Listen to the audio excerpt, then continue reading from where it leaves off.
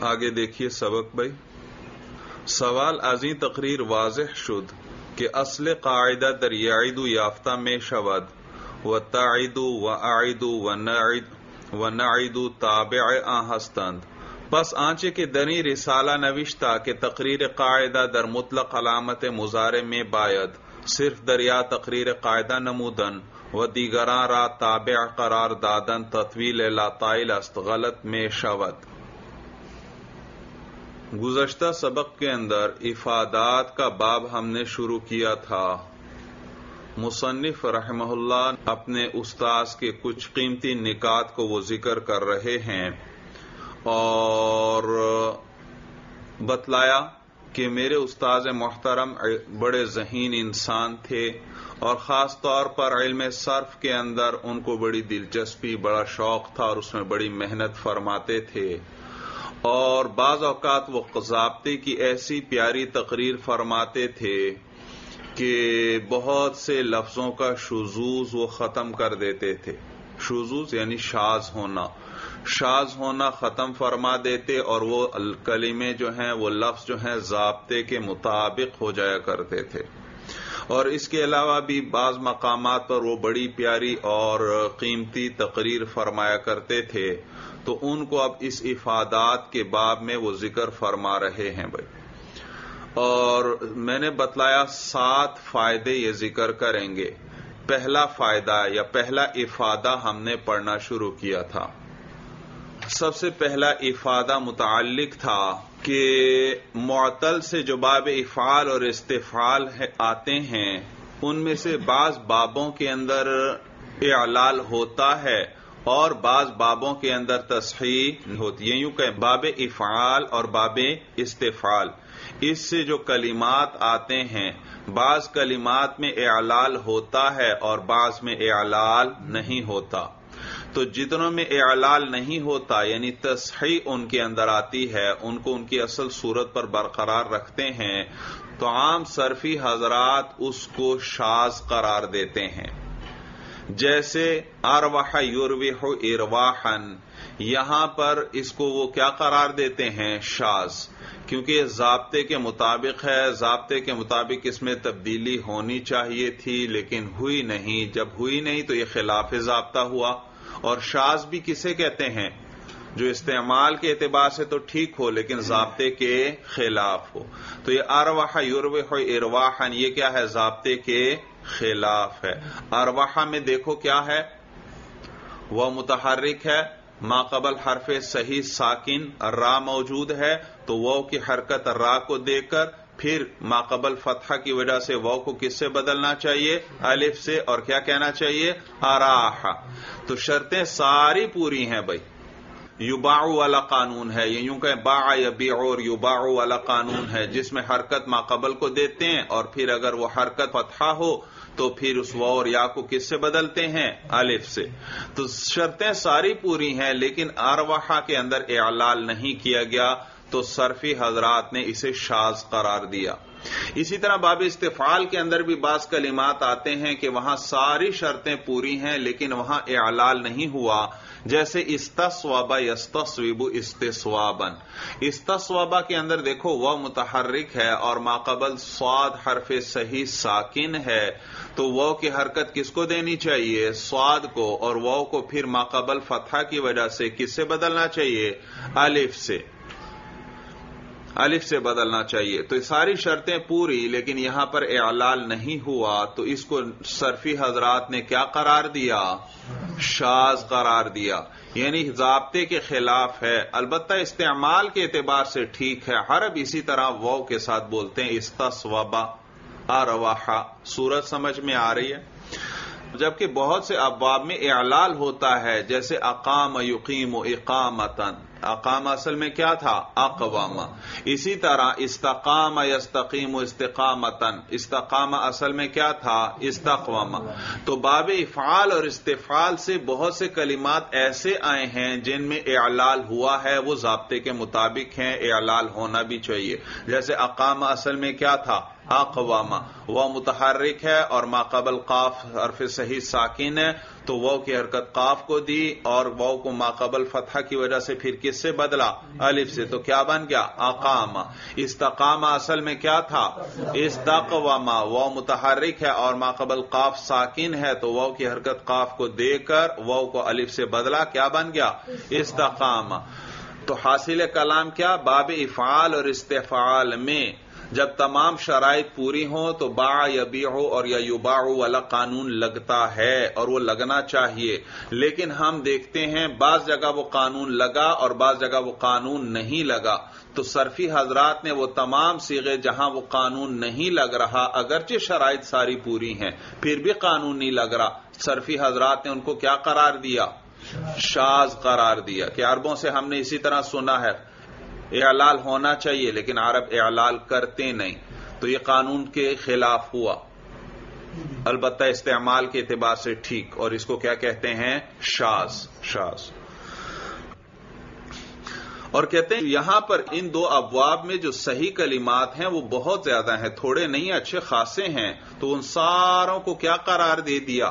شاز قرار دیا۔ کہتے ہیں، میرے استاذ محترم، اس ضابطے کی ایسی تقریر فرماتے تھے کہ ان کلمات کا شزوز ختم ہو جاتا تھا اور یہ ضابطے کے مطابق ہو جاتے تھے۔ اور وہ تقریر یہ کہ وہ فرماتے کہ جی، باقی شرطوں کے ساتھ ساتھ ایک شرط کا اور اضافہ کرنا چاہیے۔ وہ یہ کہ وہ اور یا جو متحرک ہیں اور ماقبل حرف صحیح ساکن ہے۔ تو اس و اور یا کی حرکت ماقبل کو اگر آپ دینا چاہتے ہیں تو ایک شرط اور بھی ہے کہ اس کے مصدر میں و کے بعد الف نہیں ہونا چاہیے۔ توجہ ہے؟ آپ اعلال کرنا چاہتے ہیں ارواحا میں وہ یا یا متحرک ہے، اس کی حرکت کس کو دینا چاہتے ہیں؟ ما قبل کو۔ تو اس کا مصدر دیکھو، اس کے مصدر میں اس و یا یا کے بعد الف نہیں ہونا چاہیے۔ ہم نے ارواحا کا مصدر ارواح دیکھا تو وہاں اس و متحرک کے بعد کیا ہے؟ الف. لہذا شرط پوری نہیں. جب شرط پوری نہیں تو اعلال بھی نہیں ہونا چاہیے۔ تو معلوم ہوا مستر میں و اور یا کے بعد الف نہیں ہونا چاہیے۔ شرط کیا ہے؟ مستر میں اس و اور یا کے بعد الف نہیں ہونا چاہیے، جس و اور یا کی حرکت آپ ماقبل کو دینا چاہتے ہیں۔ تو ارواحا کا مستر کیا ہے؟ ارواح. یہاں تو دیکھو و کے بعد الف ہے، لہذا شرط پوری نہیں، جب شرط پوری نہیں تو ارواحا میں اعلال نہیں کریں گے۔ اسی طرح استصوابا اس کے اندر آپ وہ کے اندر اعلال کرنا چاہتے ہیں تو اس کے مستر میں دیکھیں استصواب یہاں دیکھو اس واؤ کے بعد کیا ہے؟ الف۔ اور ہم نے تو کہا تھا الف نہیں ہونا چاہیے، الف موجود ہے تو شرط پوری نہیں، جب شرط پوری نہیں تو استصوابا میں اعلال نہیں کریں گے۔ اس پر اشکال ہوتا ہے کہ اچھا ٹھیک ہے، آپ کی بات ہم مان لیتے ہیں، لیکن پھر یہ اقامہ یقیموں میں اعلال کیوں ہوا؟ وہاں بھی تو مصدر میں وو کے بعد الف ہے۔ مثلا اقامہ اصل میں کیا تھا؟ آقواما اس وو کی حرکت کس کو دے دی؟ ما قبل کو اور وو کو الف سے بدلا۔ حالانکہ اس کا مصدر کیا ہے؟ اقامتن۔ اور اقامتن اصل میں کیا تھا؟ اقوام، دیکھا، اس واؤ کے بعد یہاں الف موجود ہے۔ اور اسی طرح استقامہ اصل میں کیا تھا؟ استقوامہ یہاں بھی حرکت نقل کی گئی، اعلال کیا گیا۔ حالانکہ اس کا مستر کیا ہے؟ استقامتن، اور استقامتن اصل میں کیا تھا؟ استقوام دیکھا یہاں پر بھی وہ کے بعد الف موجود ہے۔ تو یہاں بھی شرط پوری نہیں، جب شرط پوری نہیں تو یہاں بھی اعلال نہیں ہونا چاہیے۔ تو پھر انہوں نے جواب دیا تھا کہ نہیں بھائی، یہاں الف نہیں ہے۔ یہ جو آپ نے کہا نا، اقامتن کی اصل اقوام ہے، یہ درست نہیں۔ اقامتن کی اصل اقوام نہیں ہے۔ اسی طرح استقامتن کی اصل استقوام نہیں ہے۔ بھائی پھر کیا اصل ہے؟ کہتے ہیں اقامتن اصل میں ہے افعالتن وزن پر۔ افعال وزن پر نہیں ہے، اقوام وزن پر نہیں ہے، بلکہ کس وزن، بلکہ کس وزن پر ہے؟ افعالتن تو اصل میں کیا تھا؟ اقامتن اصل میں کیا تھا؟ افعالتن وزن پر بناؤ۔ اقوامتن۔ دیکھا، یہاں کوئی الف ہے؟ نہیں، الف نہیں ہے، شرط پوری ہے۔ جب شرط پوری ہے تو اعلال ہونا چاہیے۔ لہذا پورے باب میں اعلال ہوگا۔ سورت سمجھ میں آ گئی۔ اسی طرح استقامت اس کی اصل استقوام نہیں ہے، بلکہ اس کی اصل کیا ہے؟ استقوامت استفعال۔ تاکہ نیچے زیر ہے تو اس کو زیر ہی رکھو۔ استفعالتن، بس صرف استفعال، الف کو ختم کر دو اور آخر میں تا جوڑ دو۔ تو استقامتن کس وزن پر ہے؟ استفعالتن وزن پر ہے اور اس کی اصل کیا ہے؟ استقوامتن بروزن استفعالتن۔ تو یہاں پر وہ دیکھو وہ کے بعد الف نہیں، جب وہ کے بعد الف نہیں مستر میں تو اعلال ہوگا، لہذا پورے باب میں اعلال ہوا۔ صورت اچھی طرح سمجھ میں آ گئی۔ تو اب دیکھو، یہ سارے ضابطے کے مطابق ہو گئے۔ جن میں اعلال ہوا ہے، اقامتن۔ معلوم ہوا اس کا مستر ہی کیا ہے؟ اقوامتن اصل میں تھا۔ اور استقامتن اصل میں کیا تھا؟ استقوامتن تھا۔ یہاں دیکھو وہ نہیں ہے۔ جب وہ نہیں ہے تو اعلال ہونا چاہیے۔ اور ارواح یوربح ارواحن وہاں وہ کے بعد کیا ہے؟ الف ہے مستر میں۔ لہذا وہاں اعلال نہیں ہونا چاہیے۔ اور عربوں نے بھی اعلال نہیں کیا۔ استصوب استصوب استصوابن یہاں پر بھی وہ کے بعد کیا موجود ہے؟ الف. موجود ہے. جب الف موجود ہے تو شرط پوری نہیں جب شرط پوری نہیں تو اعلال نہیں ہونا چاہیے۔ اور عربوں نے بھی اعلال نہیں کیا۔ استصوب استصوب استصوابن بولتے ہیں۔ تو سارے لفظ کیا ہو گئے؟ ضابطے کے مطابق ہو گئے۔ اب کوئی بھی شاز نہیں کسی کو شاز کہنے کی ضرورت نہیں۔ دیکھو صرف ایک شرط بڑھائی تو سارے شاز لفظ کیا ہو گئے؟ قانون کے مطابق ہو گئے بھائی۔ اس پر پھر اشکال ہوتا ہے۔ مصنف نے بھی اس کو ذکر کیا سوال و جواب کی صورت میں۔ اشکال یہ کہ ماقبل میں تو آپ نے ہمیں بتایا تھا کہ مصدر جو ہوتا ہے وہ اعلال میں فیل کے تابع ہے۔ یہ یوں کہو، اعلال میں فیل اصل ہے اور مصدر اس کے تابع۔ فیل میں اعلال ہو تو مصدر میں بھی کریں گے۔ اور اگر فیل میں اعلال نہیں تو مصدر میں بھی نہیں۔ جیسے قام قیامن قام میں اعلال ہوا۔ اس لیے قیامن میں بھی اعلال ہوا۔ اصل میں کیا تھا؟ قیوامن پھر وہ کس سے بدلا؟ ما قبل کا سرا کی وجہ سے یاس۔ کیوں بدلا؟ کیونکہ اس کے فیل قامہ میں اعلال ہوا تھا۔ تو فیل میں اعلال ہو تو مستر میں اعلال کرتے ہیں۔ فیل میں اعلال نہ ہو تو مستر میں بھی نہیں کر۔ جیسے قاوما قوامن قاوما کے اندر اعلال نہیں۔ فیل میں اعلال نہیں۔ تو اس کا مستر جو ہے قوامن وہاں پر بھی دیکھو۔ وہ کو یا سے نہیں بدلا۔ اگرچہ ماقبل کسرا موجود ہے۔ قیامن بھی اصل میں کیا تھا؟ قوامن وہاں اعلال کر دیا اور یہ بھی وہی ہے قوامن لیکن یہاں اعلال نہیں کیا۔ کیوں نہیں کیا؟ کہ آپ نے ہمیں بتایا تھا، اعلال میں فیل اصل ہے۔ فیل میں اعلال ہو تو مستر میں اعلال ہوتا ہے۔ فیل میں اعلال نہ ہو تو مستر میں بھی اعلال نہیں۔ قامہ میں اعلال ہوا، اس لیے قیامن میں بھی اعلال ہوا۔ قوام میں اعلال نہیں، لہذا قوامن میں بھی اعلال نہیں۔ بات سمجھ میں آ تو آپ نے تو ہمیں یہ بتایا تھا کہ اعلال میں کون اصل ہے؟ فیل اصل ہے اور مستر اس کے تابع۔ فیل میں علال ہے تو مستر میں ہے فیل میں نہیں تو مستر میں بھی نہیں۔ اور آپ کی یہ والی تقریر لیں تو اس سے تو پتا چلا مستر اصل ہے۔ مستر میں اگر وہ یا یا کے بعد الف ہے تو اعلال نہیں کریں گے۔ جب اعلال نہیں کریں گے تو فیل میں بھی اعلال نہیں کریں گے۔ جیسے ارواح مستر میں کیا ہے؟ اعلال نہیں، کیوں نہیں اعلال کیونکہ واؤ کے بعد کیا آ رہا ہے؟ الف، جب واؤ کے بعد الف ہے، یہاں مستر میں اعلال نہیں، تو ارواہ فیل کے اندر بھی اعلال نہیں۔ استصواب بھائی استصواب مستر میں اعلال نہیں، کیوں نہیں اعلال کیونکہ واؤ کے بعد الف ہے، اور مستر میں اعلال نہیں، تو فیل میں بھی اعلال نہیں، لہذا استصوابہ میں بھی اعلال نہیں، اگرچہ وہاں تو کوئی الف نہیں ہے۔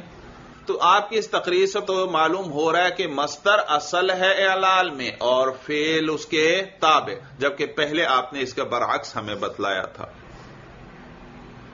تو جواب یہ دیتے ہیں کہ یہ اصل اور فرا ہونا یہ ایک سرسری اور سطحی بات ہے۔ اور اصل مقصد یہاں پر صرفی حضرات کا یہ نہیں ہوتا کہ کسی ایک کو اصل بنایا جائے اور باقیوں کو اس کے تابع بنایا جائے۔ بلکہ اصل مقصد یہ ہوتا ہے کہ باپ کا حکم ایک جیسا ہونا چاہیے۔ یعنی باپ کے تمام سیغوں کے اندر مناسبت ہونی چاہیے۔ اگر ایک سیغے میں اعلال کا قوی سبب موجود ہے، تو جب وہاں اعلال کرتے ہیں، تو باقی تمام سیغوں کے اندر بھی اعلال کر دیتے ہیں تاکہ سارا باپ ایک جیسا ہو۔ اور اگر کسی ایک سیغے میں تصحیح کا قوی سبب موجود ہے کہ اس کو صحیح رکھو، اس میں اعلال نہ کرو تو پھر جب اس میں اعلال نہیں کرتے تو باقی بھی کسی سیغے میں اعلال نہیں کرتے تاکہ باپ کے سارے سیغے باہم ایک دوسرے کے مناسب رہیں، ان میں فرق نہ ہو کہ کہیں اعلال ہوا ہے اور کہیں اعلال نہیں۔ تو اصل مقصد اصل اور فرا قرار دینا نہیں ہے، بلکہ اصل مقصد کیا ہے؟ کہ باپ کا حکم ایک جیسا رہے، باپ کے سیغوں میں مناسبت رہے۔ اگر کسی ایک جگہ اعلال کا قوی سبب کسی ایک سیغے میں پایا جائے، تو پھر جب وہاں اعلال کریں گے اس سبب کی وجہ سے، تو باقی سیغوں میں بھی کیا کر دیں گے؟ اعلال کر دیں گے۔ اور اگر باپ کے اندر کسی ایک سیغے میں تصحیح کا قوی سبب موجود ہے کہ اس میں اعلال نہ کرو، اس کو صحیح رکھو، تو پھر جب اس میں اعلال نہیں کریں گے، تو پھر باقی بھی کسی سیغے میں اعلال نہیں کریں گے، تاکہ سارے باپ کا حکم ایک جیسا رہے۔ اعلال ہوا ہے تو سارے باب میں ہو، اور اعلال نہیں ہوا ہے تو سارے باب میں اعلال نہ ہو۔ اور اس کی انہوں نے بڑی پیاری مثال بھی ذکر کی تھی۔ کہتے ہیں، دیکھو، جیسے یہ دیکھ لو اور یو دیکھ لو۔ یہ کے اندر دیکھیں وہ گر گیا۔ اس لیے کیونکہ وہ درمیان میں آیا یا مفتوحہ کے اور کسرا کے۔ یو عیدو اصل میں کیا تھا؟ عیدو تو وہ بیچ میں آ گیا یا مفتوحہ اور کسرا کے، اور وہ جب بھی یا مفتوحہ اور کسرا کے بیچ آئے تو اس کی ادائیگی ثقیل ہوتی ہے، زبان سے اس کی ادائیگی مشکل ہوتی ہے۔ تو لہٰذا یعیدو کے اندر ایک قوی سبب پایا گیا، جس نے تقاضا کیا کہ اس وو کو گرا دیا جائے۔ جب یعیدو کے اندر اس وو کو گرا دیا گیا تو پھر تعیدو آئیدو اور نعیدو میں بھی وو کو گرایا گیا۔ اگرچہ وہاں پر تعیدوں میں ماقبل تو وہ سے ماقبل تو یا مفتوحہ ہے ہی نہیں۔ آئیدوں میں بھی نہیں ہے، نعیدوں میں بھی نہیں۔ تو یہاں پر اگرچہ اعلال کا سبب موجود نہیں، لیکن مناسبت کے لیے کیا کر دیا گیا؟ وہ کو گرایا گیا تاکہ سارے سیغے ایک جیسے ہو جائیں۔ بغیر یہ دیکھے کہ کون اصل ہے اور کون فرا اسی طرح دیکھو، باب افعال ہے اکرما یکرمو۔ یکرمو اصل میں تھا یو اکرمو کیونکہ مزارے کو کس سے بناتے ہیں؟ ماضی سے۔ اور ماضی کیا ہے؟ اکرما شروع میں حمزہ ہے۔ اسی کے شروع میں کیا لے آتے ہیں؟ علامت مزارے اور باقی بھی جو تبدیلیاں کرنی ہو آئین وغیرہ کے اندر وہ کر دیتے ہیں تو مزارے بن جاتا ہے۔ تو یو کرمو اصل میں کیا تھا؟ یو اکرمو پھر یہ حمزہ کیوں گرا؟ تو سرفی حضرات بتلاتے ہیں کہ اصل میں متکلم کا جو سیگا ہے، وہاں دو حمزہ جمع ہو رہے تھے۔ اصل میں کیا تھا؟ او اکریمو اور مظاہرے کے شروع میں دو حمزہ کا جمع ہونا ثقیل ہے، لہذا ایک حمزہ کو گرا دیا گیا۔ اور جب اس حمزہ کو متکلم کے سیغے میں گرایا گیا، تو پھر باقی تمام سیغوں کے اندر بھی گرا دیا گیا مناسبت کے لیے تاکہ سارے سیغے ایک جیسے ہو جائیں۔ یہ نہیں کہ بعض جگہ حمزہ موجود ہے اور بعض جگہ حمزہ موجود نہیں بھائی۔ تو بغیر یہ دیکھے کہ اصل کون ہے اور فرا کون۔ بس ایک سیغے میں اعلال کا قوی سبب پایا گیا تو سارے باب میں کیا کر دیا؟ اعلال کر دیا۔ تو دیکھو ایک گردان یعیدو کی گردان میں یعیدو کی گردان میں تمام سیغوں کو غائب کے سیغے کے تابع کر دیا گیا۔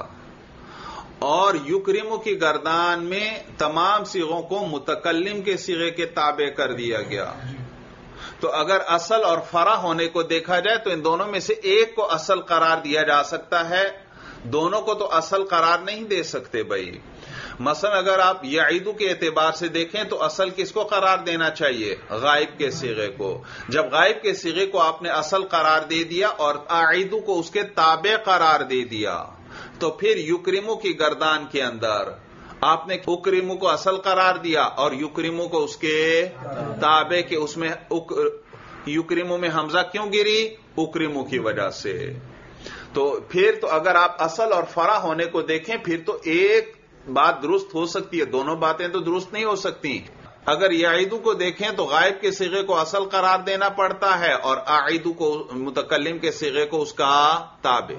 اور اگر یوکریمو کی گردان کو دیکھیں تو متکلم کے سیغے کو اصل قرار دینا پڑتا ہے اور یوکریمو کے سیغے کو اس کے تابع قرار دینا پڑتا ہے۔ معلوم ہوا اصل مقصد کسی ایک کو اصل قرار دیا جائے اور باقیوں کو فرا قرار دیا جائے، یہ مقصد نہیں ہے، بلکہ یہ دیکھا جاتا ہے کہ اعلال کا قوی سبب کسی سیغے میں اگر موجود ہے تو پھر اعلال کر دیتے ہیں اور باقی سیغوں کو بھی اسی کی طرح کر دیتے ہیں مناسبت کے لیے۔ اور اگر کسی ایک سیغے میں تصحیح کا قوی سبب پایا جائے تو پھر ایک سیغے کے اندر جب اعلال نہیں کرتے تو باقیوں میں بھی نہیں کرتے مناسبت کے لیے تاکہ باپ کا حکم ایک جیسا رہے۔ بات سمجھ میں آ گئی۔ اب آئیے بھائی آج کے سبق کی طرف۔ یہاں تک بات سمجھ میں آ گئی، یہ تھا گزشتہ سبق کا خلاصہ۔ دیکھیے آگے۔ سوال ازی تقریر واضح شد کہ اصل قاعدہ دریائیدو یافتہ میں شوت و تائیدو و آئیدو و نائیدو تابع آ ہستند۔ پس آنچ کے دنی رسالہ نوشتہ کہ تقریر قاعدہ در مطلق علامت مظاہرے میں باید صرف دریا تقریر قاعدہ نمودن و دیگران را تابع قرار دادن۔ تطویل لا تائل است، غلط میں شوت یہاں سے مصنف کی تقریر پر ایک اعتراض ہوتا ہے۔ اس اعتراض کو مصنف خود ذکر فرما رہے ہیں اور اس کا جواب بھی ذکر فرما رہے ہیں۔ اعتراض یہ ہوتا ہے کہ آپ نے ابھی جو تقریر کی، اس سے پتا چلا کہ اصل قانون یعیدو میں لگتا ہے۔ یعنی یعیدو کے اندر وہ درمیان میں آیا یا مفتوحہ اور کسرا کے تو وہ کو گرا دیا۔ اور باقی تعیدو آئیدو اور نائدو وغیرہ جو ہیں وہ اس یعیدو کے تابع ہیں۔ آپ کے اس بیان سے کیا پتا چلا کہ اصل ضابطہ کس میں جاری ہوا ہے؟ یعیدو میں۔ اور باقی تعیدو آئیدو اور نائدو کیا ہیں؟ وہ اس کے تابع ہیں۔ آپ کی اس تقریر سے تو آپ کی گزشتہ ایک تقریر غلط ثابت ہو جاتی ہے۔ اگر آپ کی یہ تقریر مان لیں کہ اصل ضابطہ عیدوں میں جاری ہوا ہے اور تعیدو آئیدو اور نائدو کیا ہیں، وہ اس کے تابع اگر یہ تقریر مان لیں تو ماقبل میں آپ نے اس کے برعکس ایک تقریر کی تھی، وہ تقریر غلط ماننا پڑے گی۔ اور وہ تقریر کہاں کی تھی؟ جہاں پر معطل کے قوانین شروع ہوئے تھے۔ تو پہلا قانون آپ نے ہمیں یہ بتلایا تھا کہ کہ یعیدو، تعیدو آئیدو اور نائدو وغیرہ میں وہ کیوں گرتا ہے؟ کیونکہ وہ درمیان میں آ گیا علامت مزار مفتوحہ اور کسرا کے۔ اس لیے وہ گر جاتا ہے۔ کیا ضابطہ بیان کیا تھا؟ کہ وہ بیچ میں آ گیا علامت مزار مفتوحہ اور کسرا کے، اس لیے وہ گر گیا۔ اور پھر آپ نے مزید وہیں پر تقریر کرتے ہوئے فرمایا تھا کہ اور علماء اس ضابطے کو کس طرح بیان فرماتے ہیں؟ وہ فرماتے ہیں کہ اصل ضابطہ لگا ہے یعیدو میں اور تعیدو آئیدو نائدو وغیرہ کیا ہیں؟ اس کے تابع ہیں۔ کہتے ہیں یہ جو اور علماء نے بات لکھی ہے، یہ تطویل لاتائل ہے۔ بے فائدہ بات کو لمبا کرنا ہے۔ بے فائدہ بات لمبی کر دی۔ کیسے؟ کہ ضابطہ لگا ہے یعیدوں میں اور پھر تابع کر دیا آئیدو نائدو اور تعیدو وغیرہ کو۔ بے فائدہ بات لگ مختصر سا کہہ دو کہ علامت مزار مفتوحہ اور کسرا کے بیچ وہ آیا تھا، اس لیے گرا دیا۔ نہ اس میں یا کو ذکر کرنے کی ضرورت، نہ تا کو، نہ حمزہ کو اور نہ نون کو۔ تعیدو آئیدو نائدو سب کو ذکر کرنے کی ضرورت ہی نہیں۔ تو وہاں آپ نے کیا تقریر کی تھی؟ پھر سنو۔ آپ نے ابھی جو یہاں تقریر کی، اس تقریر سے یہ ثابت ہو گیا، آپ نے خود بیان کر دیا کہ اصل ضابطہ کس کے اندر جاری ہوا ہے؟ یہ آئیدو میں۔ اور تعیدو آئیدو اور نائدو کیا ہیں؟ اس کے تابع ہیں۔ لیکن ماقبل میں آپ نے یہ تقریر کچھ اور طرح کی تھی۔ جب ضابطے بیان کر رہے تھے، وہاں آپ نے کہا تھا کہ وہ کیوں گرا؟ کیونکہ وہ درمیان میں آیا، علامت مزار مفتوحہ۔ یا کے بجائے آپ نے کیا کہا؟ علامت مزار مفتوحہ۔ اور کسرا کے درمیان جب بھی وہ آئے، اس کو کیا کر دیتے ہیں؟ گرا دیتے ہیں۔ اور آپ نے وہاں پر یہ بھی کہا تھا کہ اور علماء نے اس ضابطے کو بیان کرتے ہوئے یہ کہا ہے کہ یہ ضابطہ یعیدو میں اصلاً لگا ہے اور تعیدو آئیدو نعیدو میں تبعن لگا ہے۔ اور علماء نے جو یہ تقریر کی ہے کہ یعیدو میں ضابطہ اصل لگا ہے، تعیدو آئیدو نائدو میں طبعن لگا ہے۔ آپ نے کہا تھا یہ تطویل لا تائل ہے، یہ بے فائدہ بات کو لمبا کر دیا۔ یہ کہنے کی کیا ضرورت ہے کہ اصلاً یعیدو میں لگا اور تعیدو آئیدو نائدو اس کے تابع ہیں؟ یہ کہنے کی کیا ضرورت ہے؟ بس سیدھا سیدھا کہہ دو۔ کیا علامت مزار مفتوحہ اور کسرا کے بیچ وہ آئے تو اس کو کیا کر دیتے ہیں؟ گرا دیتے ہیں۔ اور اب آپ آ کر خود کہہ رہے ہیں۔ کہ اصل ضابطہ کس میں لگا؟ یا عیدو میں۔ اور تائیدو آئیدو نائیدو کیا ہے؟ اس کے تابع ہیں۔ تو پہلے اسی بات کو آپ نے تطویل لاتائل کہا تھا اور اب اسی کو خود بیان کر رہے ہیں۔ تو اس سے تو آپ کی وہ پچھلی تقویر جو ہے وہ غلط ثابت ہو جاتی ہے۔ اعتراض سمجھ میں آیا؟ دیکھیے یہی اعتراض ذکر کریں گے اور پھر جواب بھی۔ کہتے ہیں سوال ازی تقریر واضح شد اس تقریر سے یہ واضح ہو گیا کہ اصل قاعدہ در یعید یافتہ میں شبد کہ اصل ضابطہ جو ہے وہ یعیدو کے اندر پایا گیا وہ تائیدو و آئیدو و نائدو تابع آ ہستن اور تائیدو آئیدو اور نائدو اس کے تابع ہیں۔ یہ اس تقریر سے واضح ہوا۔ جو آپ نے ابھی کی۔ اب اگلی تقریر ذکر کرنے لگے۔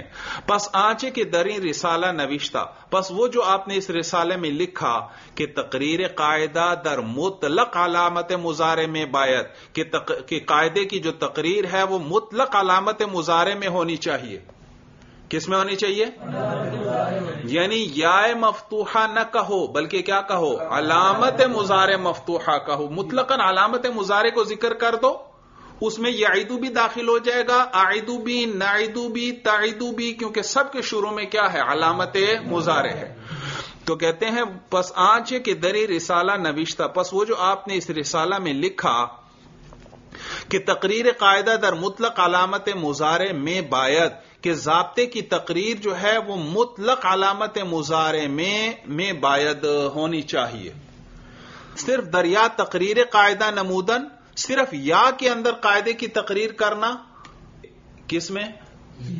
یا میں قاعدے کی تقریر کرنا اور باقیوں کو اس کے تابع قرار دینا، یہ کیا ہے؟ تطویل لاتا ہے تو صرف دریا، یہ وہ گزشتہ تقریر ذکر کر رہے ہیں۔ آپ نے وہاں ذکر کیا تھا کہ صرف دریا تقریر قاعدہ نمودن، صرف یا کے اندر قاعدے کی تقریر کرنا، وہ دیگران رات تابع قرار دادن اور باقیوں کو اس کا تابع قرار دینا، تطویل لا تائلست یہ کیا ہے؟ بات کو بے فائدہ لمبا کرنا ہے۔ تطویل کا معنی لمبا کرنا، لا تائل بے فائدہ۔ یہ بات کو بے فائدہ لمبا کرنا ہے۔ یہ جو آپ کی سابقہ تقریر ہے، آپ کی اس موجودہ تقریر سے غلط میں شبد کیا ہو جاتی ہے؟ غلط ہو جاتی ہے، غلط ثابت ہو جاتی ہے۔ اب جواب دیں گے۔ بڑی قیمتی باتیں ذکر کر رہے ہیں مصنف۔ میں جواب یہ دیں گے کہ ایک ہوتا ہے ضابطہ، ایک ہوتا ہے ضابطے کا سبب اور اس کی وجہ۔ ایک ہوتا ہے ضابطہ اور ایک ہوتا ہے ضابطے کا سبب کہ یہ ضابطہ کیوں ہے؟ اس کی وجہ کیا ہے؟ کہتے ہیں یہ دو چیزیں الگ الگ ہیں۔ ایک، جہاں ضابطے کی تقریر ہو، وہاں سبب کو ذکر نہیں کرنا چاہیے۔ بات سمجھ میں آ گئی؟ ورنہ طالب علم پریشانی میں مبتلا ہو جائے گا۔ جہاں ضابطہ ذکر ہو، ضابطے میں وجہ اور سبب نہ ذکر کرو کہ فلاں سیغے میں اصل ضابطہ لگا تھا، باقیوں کو اس کے تابع کر دیا۔ بھائی، کہنے کی کیا ضرورت ہے؟ مختصر ضابطہ ذکر کرو کہ جہاں بھی علامت مزار مفتوحہ اور کسرا کے بیچ وہ آئے، اس کو کیا کر دو؟ گرا دو۔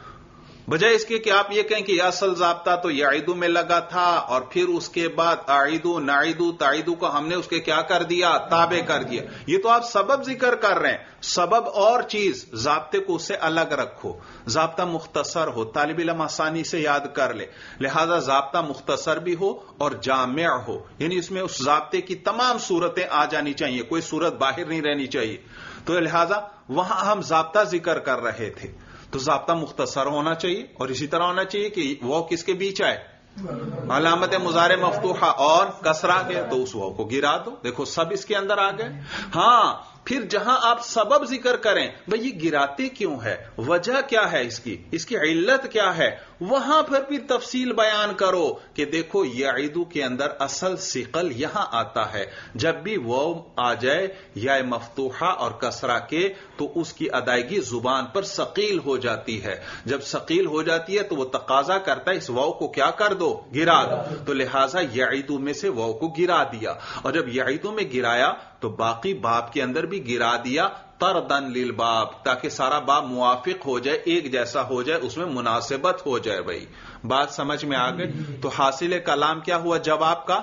کہ ایک ہے تقریر قاعدہ اور ایک ہے قاعدے کا سبب اور قاعدے کا نقطہ۔ تو تقریر قاعدہ وہ جامع اور مختصر ہونی چاہیے اور جہاں تفصیل ہے وہ تفصیل کہاں بیان ہونی چاہیے؟ قاعدے کے سبب کے اندر وہاں تقریر بیان ہونی چاہیے کہ اس قاعدے کے لگانے کی وجہ کیا ہے، اس کا سبب کیا ہے، اس کا باعث کیا ہے۔ بات سمجھ میں آ گئی؟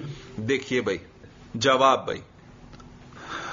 جواب در تحریر قواعد دو مقام قواعد کے لکھنے میں دو مقام ہے بھائی۔ قواعد کے لکھنے میں دو مقام ہیں یعنی دو چیزیں ہیں جن کو الگ الگ رکھنا چاہیے۔ ایک ہے تقریر قاعدہ اور ایک ہے اس کا سبب۔ تو کہتے ہیں در تحریر قواعد دو مقام تحریر قواعد کے اندر دو مقام ہیں۔ یک تقریر قاعدہ، ایک قاعدے کی تقریر ہے۔ دیگر بیان نکتہ و سبب حکم قاعدہ اور دوسرا نکتہ اور قاعدے کے حکم کا سبب بیان کرنا کہ یہ قاعدے کا یہ حکم کیوں لگایا گیا؟ یہ وہ کیوں گراتے ہیں؟ تو کہتے ہیں، در تقریر قاعدہ بیان کلی باید۔ قاعدے کی تقریر جو ہے، اس میں بیان کلی ہونا چاہیے۔ کیا ہونا چاہیے؟ بیان کلی ہونا چاہیے یعنی ایک ہی کلی بات بیان کر دو۔ یوں نہ بیان کرو یا میں الگ لگا، پھر باقیوں کو اس کے تابع کر دیا۔ نہیں نہیں، سیدھا سیدھا کہہ دو۔ بس، علامت مزار مفتوحہ اور کسرہ میں جب بھی وہ آئے، اس کو کیا کرتے ہیں؟ اب یہاں اصل اور تابع کو ذکر کرنے کی ضرورت ہی نہیں۔ مختصر تقریر ہو گئی اور جامع ہو گئی۔ سارے افراد آ گئے یا نہیں آ گئے؟ تو یہ کلی ضابطہ ہو گیا۔ یہ تو ایک قاعدہ ہے۔ ہر قاعدے میں یعنی اسی طرح ہونا چاہیے۔ قاعدہ مختصر اور جامع ہو، تمام صورتوں کو شامل ہو اور قاعدے کی جو علت اور حکم ہے، اس کو کیا کرنا چاہیے؟ الگ رکھنا چاہیے۔ وہ جہاں تفصیل مطلوب ہو، وہاں تفصیل ذکر کی جائے۔ اصل ضابطے کو زیادہ لمبا نہ کیا جائے بھائی۔ بات سمجھ میں آ گئی؟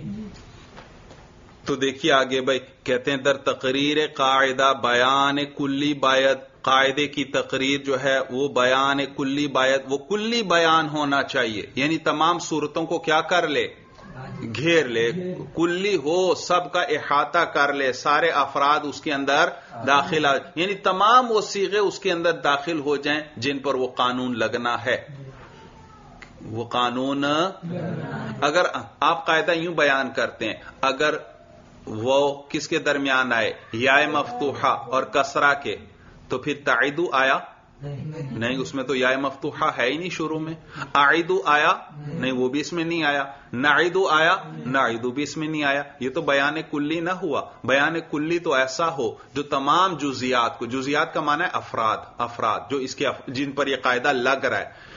قاعدے کا بیان اور اس کی تقریر ایک بیان کلی ہونا چاہیے، ایک جامع بیان ہونا چاہیے جو تمام افراد کو شامل ہو۔ جن جن سیغوں پر یہ ضابطہ لگنا ہے، ان وہ سارے اس میں داخل ہونے چاہیے۔ تو اس کے لیے بہتر طریقہ کیا ہے؟ یہ نہ کہو کہ وہ درمیان یا مفتوحہ اور کسرہ کیا ہے بلکہ یوں کہو اگر وہ کس کے بیچ آئے؟ علامت. مزار مفتوحہ اور کسرہ کے۔ دیکھو اب یہ جامع ہو گیا سارے چودہ کے چودہ سیغے مظاہرے کے اس کے اندر داخل ہو گئے۔ تو کہتے ہیں در تقریر قاعدہ بیان کلی باید قاعدے کی تقریر میں بیان کلی باید کلی بیان ہونا چاہیے کہ شامل جمیع جزئیات باشد، جو کہ تمام جزیات کو شامل ہو، تمام افراد کو۔ افراد سے کیا مراد؟ وہ سیغے جن میں یہ ضابطہ لگنا ہے، وہ سارے اس میں داخل ہو جائیں۔ کہ شامل جمیع جزئیات باشد، جو کہ تمام جزیات تمام افراد کو شامل ہو۔ وہ در بیان اور دوسری چیز جو تھا بیان نکتا اب اس میں کہتے ہیں تفصیل آنی چاہیے۔ وہاں تفصیل آنی چاہیے کہ فلاں سیغے میں یہ سقل آ رہا تھا یو میں سقل آ رہا تھا، تو وہاں سے وہ گرا دیا۔ اور جب وہاں سے وہ گرایا تو باقیوں میں بھی تبان وہ کو تو یہ ضابطے میں نہ بیان کرو، یہ ضابطے کی علت اور سبب میں اور اس کی تفصیل میں بیان کرو۔ بات سمجھ میں آ گئی۔ تو کہتے ہیں وہ دربیان نکتا و سبب اور قاعدے کے نقطے نکتا کہتے ہیں گہری بات، باریک بات، بھائی باریک بات۔ وہ دربیان نکتا و سبب جو ہے اور سبب اور نقطے کے بیان کے وقت شرع نمودہ شبد، یہ وضاحت کی جائے کہ علت حکم چونی یافتہ شد در فلا سیگا کہ اس ضابطے کا جو حکم ہے کہ علت حکم یہ جو حکم کا حکم کی جو علت ہے، چونی، یافتہ شد در فلاں سیگا اس طرح پائی گئی فلاں سیگا میں۔ یہ وہ کو گرانے کی علت کیا ہے؟ فلاں سیغے میں۔ کون سے سیغے میں؟ یا عیدوں میں پائی گئی۔ اس طرح، کس طرح؟ کہ یا مفتوحہ اور کسرا کے بیچ وہ آئے تو وہ زبان پر کیا ہوتا ہے؟ ثقیل ہوتا ہے، اس کی ادائیگی دشوار ہوتی ہے۔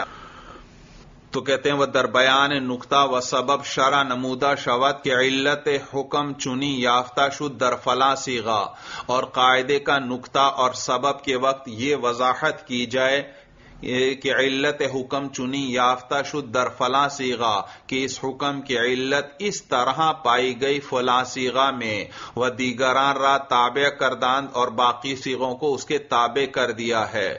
تو کہتے ہیں در اصل تقریر تفریق نمودن اصل تقریر کے اندر ہی فرق کرنا۔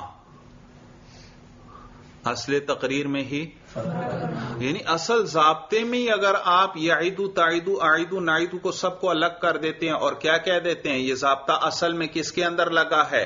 یعیدو میں۔ اور باقی سارے کیا ہیں؟ اس کے تابع۔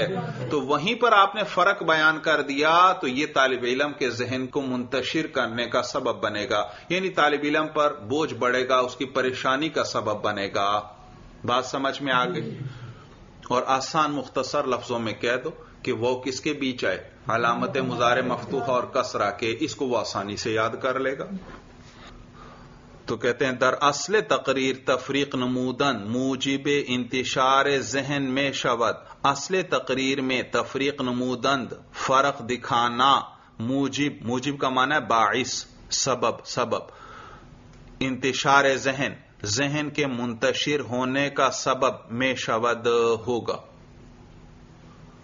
اصل تقریر میں فرق کرنا یہ طالب علم کے ذہن کے کے انتشار کا سبب بنے گا۔ طالب علم کا ذہن کیا ہوگا؟ منتشر ہوگا یعنی طالب علم پریشانی میں مبتلا ہوگا، کیونکہ بات مشکل ہو گئی بھائی۔ آسان انداز میں اس کو بیان کرو بھائی۔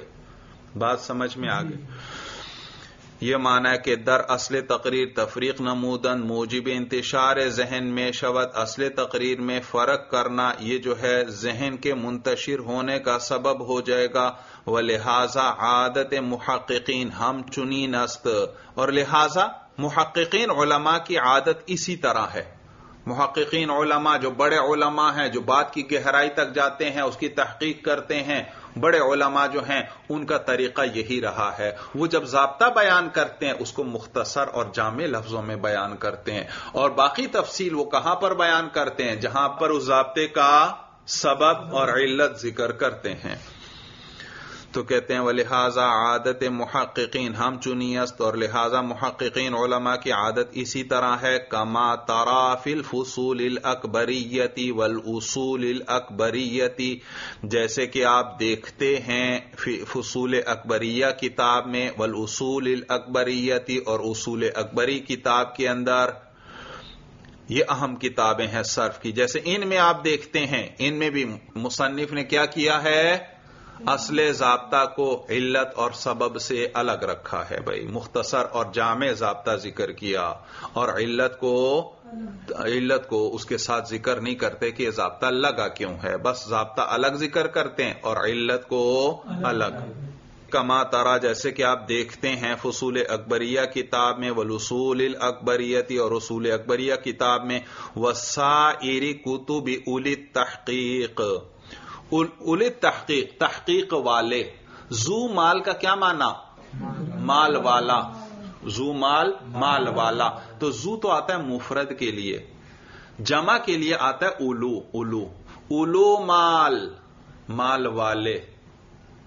زو مال مال والا، ایک فرد۔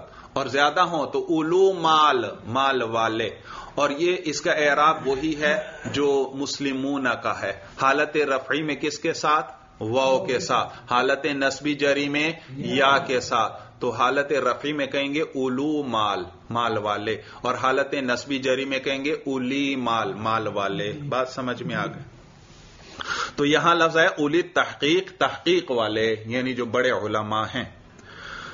تو کہتے ہیں جیسے کہ فصول اکبریہ اصول اکبریہ کتاب میں ہے وسائری کتبی الی تحقیق اور جیسے کہ باقی تحقیق والوں کی کتابوں میں ہے یعنی ان سب میں بھی اسی طرح ہے۔ اصل ضابطہ الگ اور علت اور اور سبب الگ۔ وہ تحقیق اصالت و فرعیت فیل فیل و مصدر۔ در مصدر ہے آپ کی کتاب میں۔ در نہیں فیل و مصدر وہ ہونا چاہیے۔ بعد ازیں درہمی باب حسب افادات جناب استاذی خواہد آمد۔ اب یہاں چونکہ اصل اور فرا کی بات آ گئی، تو آپ کو بتلا رہے ہیں کہ بھائی بعضوں نے کہا فیل اصل ہے، بعضوں نے کہا ہے مصدر اصل ہے۔ تو کہتے ہیں وہ بحث بھی اسی افادات کے اندر آ رہی ہے۔ آگے چل کے وہ ذکر کریں گے کہ فیل اصل ہے یا مصدر اصل ہے۔ کہتے ہیں وہ بحث آگے آنے والی ہے بھائی۔ تو کہتے ہیں وہ تحقیق اصالت و فرعیت فیل و مصدر۔ تحقیق اصالت و فرعیت۔ اصالت اصل ہونا۔ فرعیت فرا ہونا۔ اصل اور فرا ہونا کس کا؟ فیل و مصدر۔ فیل اور مصدر کے اصل اور فرا ہونے کی جو تحقیق ہے بعد ازیں اس کے بعد۔ درہمی باب اسی باب کے اندر حسب افادات جناب استاذی خواہد آمد میرے استاذ محترم کے افادات کے مطابق خواہد آمد آ جائے گی۔ میرے استاد سے جو میں فائدے ذکر کر رہا ہوں، انہوں نے جو اس سلسلے میں جو فائدہ ذکر کیا، جو قیمتی بات ذکر کی کہ فیل اصل ہے یا مصدر اصل، علماء کا اختلاف ہے نا، بعض فیل کو اصل کہتے ہیں، بعض مصدر کو اصل کہتے ہیں، تو مصدر اور فیل میں سے کے اصل اور فرا ہونے کی جو بحث ہے، وہ میرے استاذ محترم کے افادات کے مطابق اسی باب میں آگے آ رہی ہے بھائی۔ بات سمجھ میں آ گئی۔ جی۔ ترجمہ دوبارہ دیکھ لیجیے۔ کہتے ہیں وہ تحقیق اصالت و فرعیت فیل و مصدر مصدر اور فیل کے اصل و فرا ہونے کی تحقیق۔ بعد ازیں اس کے بعد درہمی باب، اسی باب میں حسب افادات جناب استاذی خواہد آمد میرے استاذ محترم کے افادات کے مطابق خواہد آمد آ جائے گی۔ وہ تحقیق آئے گی۔ جیسے میرے استاذ نے بتلائی تھی اور ایک نئے انداز سے اس کے مطابق میں ذکر کروں گا۔ آگے دیکھیے بھائی، افادہ۔ یہ دوسرا افادہ آ گیا بھائی۔ افادہ، ابا یا ابارا کے اسفتہ یفتح بے آ کے عین یا لامش، حرف حلق، باشد، آمدہ، شاز، گفتہ، اند۔ اچھا پہلے اس کو سمجھ لیں بھائی۔ یہ بات پہلے بھی ذکر ہو چکی۔ جہاں باب فتح کا ذکر آیا تھا، وہاں مصنف نے ذکر فرمائی تھی۔ یاد رکھیے، عام صرفی حضرات بیان کرتے ہیں کہ باب فتح سے جو بھی کلمہ آئے گا، اس کا عین یا لام حرف حلقی ہونا ضروری ہے بھائی۔ تو عام صرفی حضرات فرماتے ہیں کہ جو بھی کلمہ باب فتح سے آئے گا، اس کا عین یا لام حرف حلقی ہونا ضروری ہے۔ لیکن کچھ کلمات پھر ایسے آ گئے جو باب فتح سے تو ہم نے حربوں سے سنے ہیں کہ وہ بولتے کس سے ہیں باب فتح سے۔ لیکن اس کے اندر ہم نے غور کیا، نہ تو عین حرف حلقی ہے اور نہ لام حرف حلقی ہے۔ جیسے ابا یا ابا۔ اب یہ ابا یا ابا، یہ باب فتح سے آ رہا ہے۔ لیکن اس میں عین کیا ہے؟ با۔ اور با حرف حلقی نہیں ہے۔ اور لام کیا ہے؟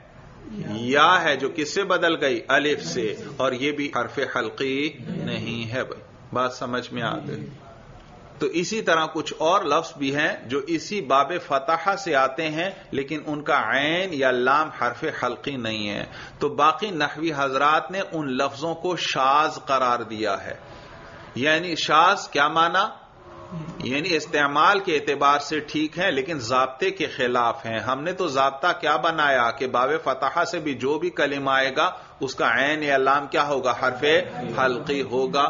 لیکن یہ ابا یا ابا، یہ ضابطے پر پورا نہیں اتر رہا، لیکن پھر بھی کس باب سے آ رہا ہے؟ باب فتح سے آ رہا ہے۔ ہم نے عربوں سے اسی طرح سنا ہے۔ تو باقی صرفیوں نے اس لفظ کو اور اس جیسے لفظوں کو کیا قرار دیا؟ شاز قرار دیا۔ تو مصنف رحم اللہ فرماتے ہیں کہ میرے استاذ محترم، اس قانون میں ضابطے میں ایک چھوٹی سی قید بڑھا دیتے ہیں، جس سے یہ جو لفظ ہیں، ان کا شاز ہونا ختم ہو جائے گا، یہ قانون کے مطابق ہو جائیں گے۔ اور وہ قید کیا؟ کہ اس میں لفظ صحیح کی قید بڑھا دو۔ کس کی قید؟ قانون اس طرح کہو کہ جو بھی لفظ، جو بھی کلمہ صحیح ہو جو بھی کلمہ یعنی ہفت اقسام میں صحیح ہو نہ محموز ہو نہ معطل ہو نہ نہ مضاف ہو بھائی بات سمجھ میں آ گئی؟ یعنی مثال اجوف ناقص کچھ بھی نہ ہو صحیح ہو جو بھی صحیح کلمہ اس باب سے آئے اس کا عین یا لام حرف حلقی ہونا ضروری ہے۔ کیا؟ ضابطہ ہوا؟ جو بھی صحیح کلمہ، دیکھو صحیح کی قید بڑھا دی، باقیوں نے صحیح کی قید نہیں بڑھائی تھی، لہذا ان کو ابا یا ابا وغیرہ کو کیا کہنا پڑا؟ شاز کہنا پڑا۔ کہتے ہیں، صحیح کی قید آپ بڑھا دیں۔ کہ عین یا لام حرف حلقی ہونا چاہیے، لیکن ہر کلمے میں نہیں، جو صحیح ہو، اس کے اندر۔ جو بھی صحیح ہو اور اس باب سے آئے، اس کا عین یا لام کیا ہونا چاہیے؟ حرف حلقی ہونا چاہیے۔ اب سارے شاز ختم ہو گئے۔ کیونکہ ابا یا ابا یہ تو صحیح نہیں ہے۔ یہ ہفت اقسام میں کیا ہے؟ محموز بھی ہے اور ناقص بھی ہے بھائی۔ تو یہ تو صحیح ہے ہی نہیں۔ جب صحیح ہے ہی نہیں تو اس میں عین یا لام حرف حلقی ہونا چاہیے؟ نہیں۔ عین یا لام حرف حلقی ہونا تو کس میں شرط ہے؟ صحیح کے اندر شرط ہے۔ تو اس میں تو شرط ہی پوری نہیں۔ جب شرط پوری نہیں تو یہ تو ضابطے کے مطابق ہے۔ بات سمجھ میں آ گئی۔ لام یا عین کیا ہونا چاہیے؟ حرف حلقی۔ جو بھی باب فتح سے آئے، لیکن کب؟ جب وہ صحیح ہو۔ اور یہ صحیح ہے؟ جب یہ صحیح نہیں ہے، تو اس میں حرف حلقی کیسے تلاش کرتے ہو؟ اس کو کیسے ضابطے کے خلاف کہتے ہو؟ یہ تو ضابطے کے خلاف ہے ہی نہیں، کیونکہ اس میں شرط نہیں پوری۔ کیونکہ شرط کیا تھی؟ یہ صحیح ہو تو پھر عین یا لام حرف حلقی ہونا چاہیے۔ یہ تو صحیح ہی نہیں۔ جب صحیح نہیں تو اس میں عین یا لام کے حرف حلقی ہونے کی شرط بھی نہیں۔ اس کے بغیر بھی یہ اس باب سے آ سکتا ہے۔ بات سمجھ میں آ گئی۔ دیکھیے بھائی، افادہ۔ ابا یا ابارا کے اسفتح یفتح۔ بے آ کے عین یا لامش حرف حلق باشد آمدہ شاز گفتہ اند۔ ابا یا ابارا، ابا یا ابا کو کہ اسفتح یفتح جو کس سے آیا ہے؟ فتح یفتح سے ہے۔ بے آ کے بغیر اس کے کہ عین یا لامش حرف حلق باشد۔ بغیر اس کے کہ اس کا عین یا لام حرف حلق ہو، آمدہ یہ آیا ہے۔ یہ اس کا تعلق ہے فتح یفتح سے۔ ابا یا ابارا کے اسفتح یفتح آمدہ۔ عبارت سمجھ میں آ رہی ہے۔ ابا یا ابا جو کہ اسفتح یفتح آمدہ کس سے آیا ہے؟ فتح یفتح سے آیا ہے۔ بے آن کے عین یا لامش حرف حلق باشد بغیر اس کے کہ اس کا عین یا لام کیا ہو، حرف حلق ہو۔ تو با محاورہ کا ترجمہ یوں کر لیں۔ دوبارہ سنیں۔ ابا یا ابارا کے اسفتح یفتح بے آن کے عین یا لامش حرف حلق باشد آمدہ۔ ابا یا ابا جو کہ فتح یفتح سے ہے، بغیر اس کے کہ اس کا عین یا لام کیا ہو، حرف حلق ہو، شاز گفتہ اند، اس کو صرفیوں نے شاز کہا ہے کہ اس کا تو عین یا لام حرف حلق نہیں ہے، یہ پھر بھی کس میں سے آ رہا ہے؟ باب فتح سے تو یہ تو شاز ہے۔ وہ کلمات دیگر اور اسی طرح اور کلمات بھی، مثل قلا یقلا۔ دیکھو قلا یقلا بھی کس سے آیا ہے؟ فتح سے۔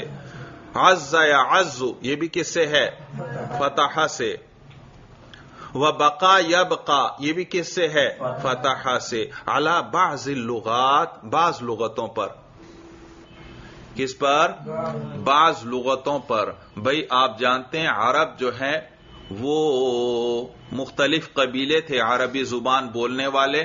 تو ہر ایک کی زبان میں تھوڑا بہت معمولی فرق تھا بھائی جیسے اردو دیکھ لیں آپ، لاہور والوں کی اردو کا اور انداز ہے۔ اور ہندوستان والوں کی اردو کا اور انداز ہے اور کراچی وغیرہ میں دیکھیں تو اردو کا اور انداز ہے۔ اب ایک ہی زبان ہے، لیکن تھوڑا بہت معمولی فرق ہوتا ہے بھائی۔ تو عرب چونکہ بڑا وسیع علاقہ ہے، وہاں بہت سے قبیلے تھے، تو ان قبیلوں کی اپنی اپنی لغات تھی یعنی کچھ نہ کچھ فرق تھا ان تھی تو سب کی زبان عربی، لیکن تھوڑا بہت معمولی سا کچھ فرق ہوتا تھا۔ تو یہاں پر بھی یہ بتلا رہے ہیں کہ یہ قلا یقلا، عز عزو اور بقا یبقا یہ بعض لغات پر یہ بھی فتح سے آئے ہیں بھائی۔ یعنی بعض عرب تو اس کو سمیعہ سے پڑھتے ہیں ان کو۔ اگر سمیعہ سے پڑھیں پھر تو اشکال ہی کوئی نہیں۔ اور جبکہ بعض ارموں سے ہم نے اس کو سنا ہے وہ ان کو فتح سے پڑھتے ہیں۔ اور فتح سے پڑھیں پھر اعتراض ہوتا ہے کہ فتح کے اندر تو جو بھی لفظ آئے گا اس کا عین یا لام حرف حلقی ہونا ضروری ہے بھائی۔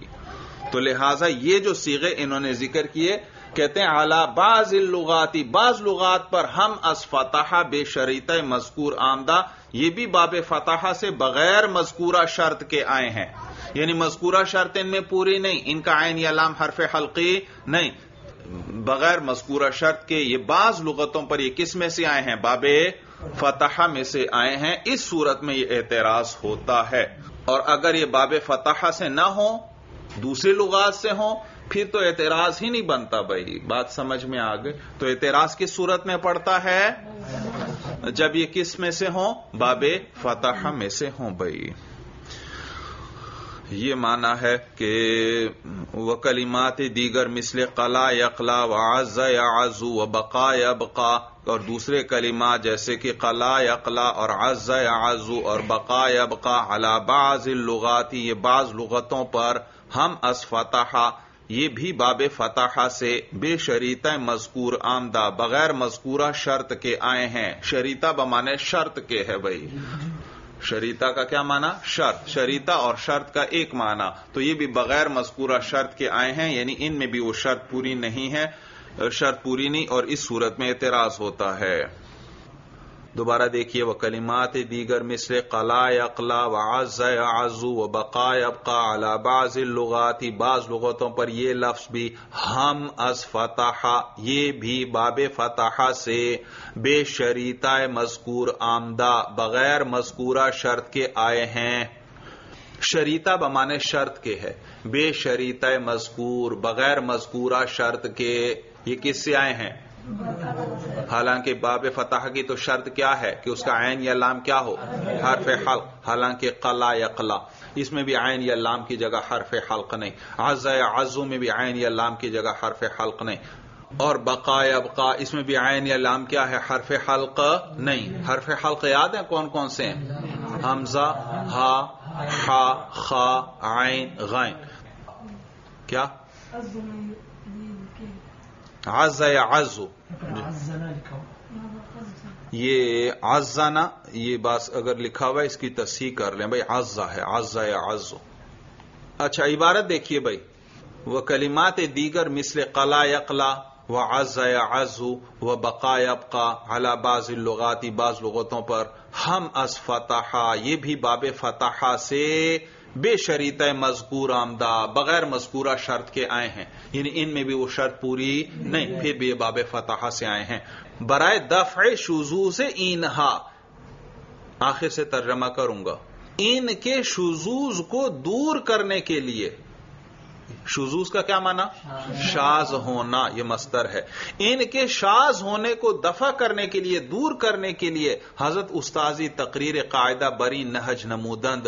میرے استاد جو ہیں، تقریر قاعدہ، وہ قاعدے کی تقریر بری نہج نمودند۔ اس طریقے پر کرتے کہ ہر کلمہ صحیح، دیکھا یہ صحیح کی قید بڑھا دی۔ توجہ ہے کہ ہر کلمہ صحیح ہر وہ کلمہ جو صحیح ہو کہ اسباب فتح یفتح آیت جو کہ باب فتح یفتح سے آئے باید چاہیے کہ عین یا لامش حرف حلق باشد کہ اس کا عین یا لام کیا ہو؟ حرف حلق ہو بھائی۔ قید صحیح در قاعدہ افزودند. صحیح کی قید ضابطے میں بڑھا دی. پس شزوز آ کلمات، پس ان کلمات کا شزوز کہ بعض ناقص کے بعض اس میں سے کیا ہیں؟ ناقص ہیں. وہ بعض مضاف ہستن اور بعض ان میں سے مضاف ہیں. تو ان کلمات کو شزوز لازم نہ آید، لازم نہیں آتا. عبارت جوڑ رہے ہیں ساری بھائی. بس شزوز آ کلمات آخر میں آ رہا ہے، لازم نہ آید. پس ان کلمات کا شاز ہونا لازم نہیں ہے.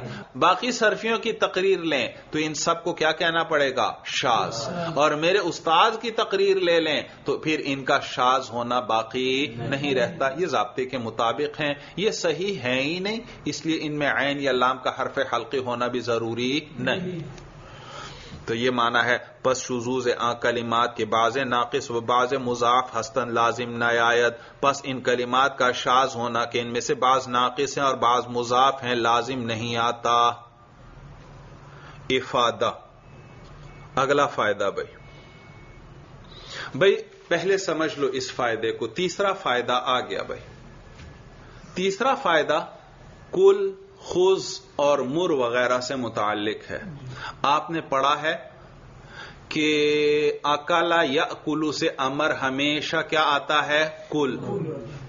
کل۔ اکالا اکلو جس کا معنی ہے کھانا کھانا۔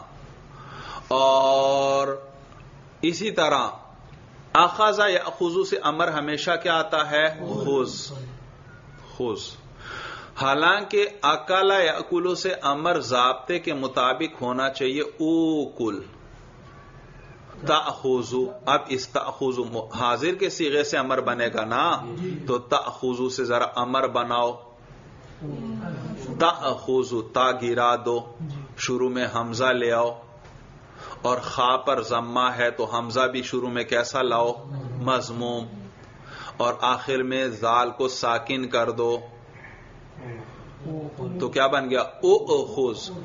تو دوسرا حمزہ ساکن ہے. جب دو حمزہ جمع ہو اور دوسرا حمزہ ساکن ہو، تو دوسرے کو پہلے کے موافق حرف علت سے بدلنا واجب ہے۔ تو لہذا اس کو وہ سے بدل دیا۔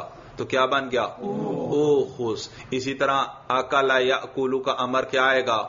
او کل او کل. لیکن ہم نے عربوں سے کبھی بھی او کل نہیں سنا۔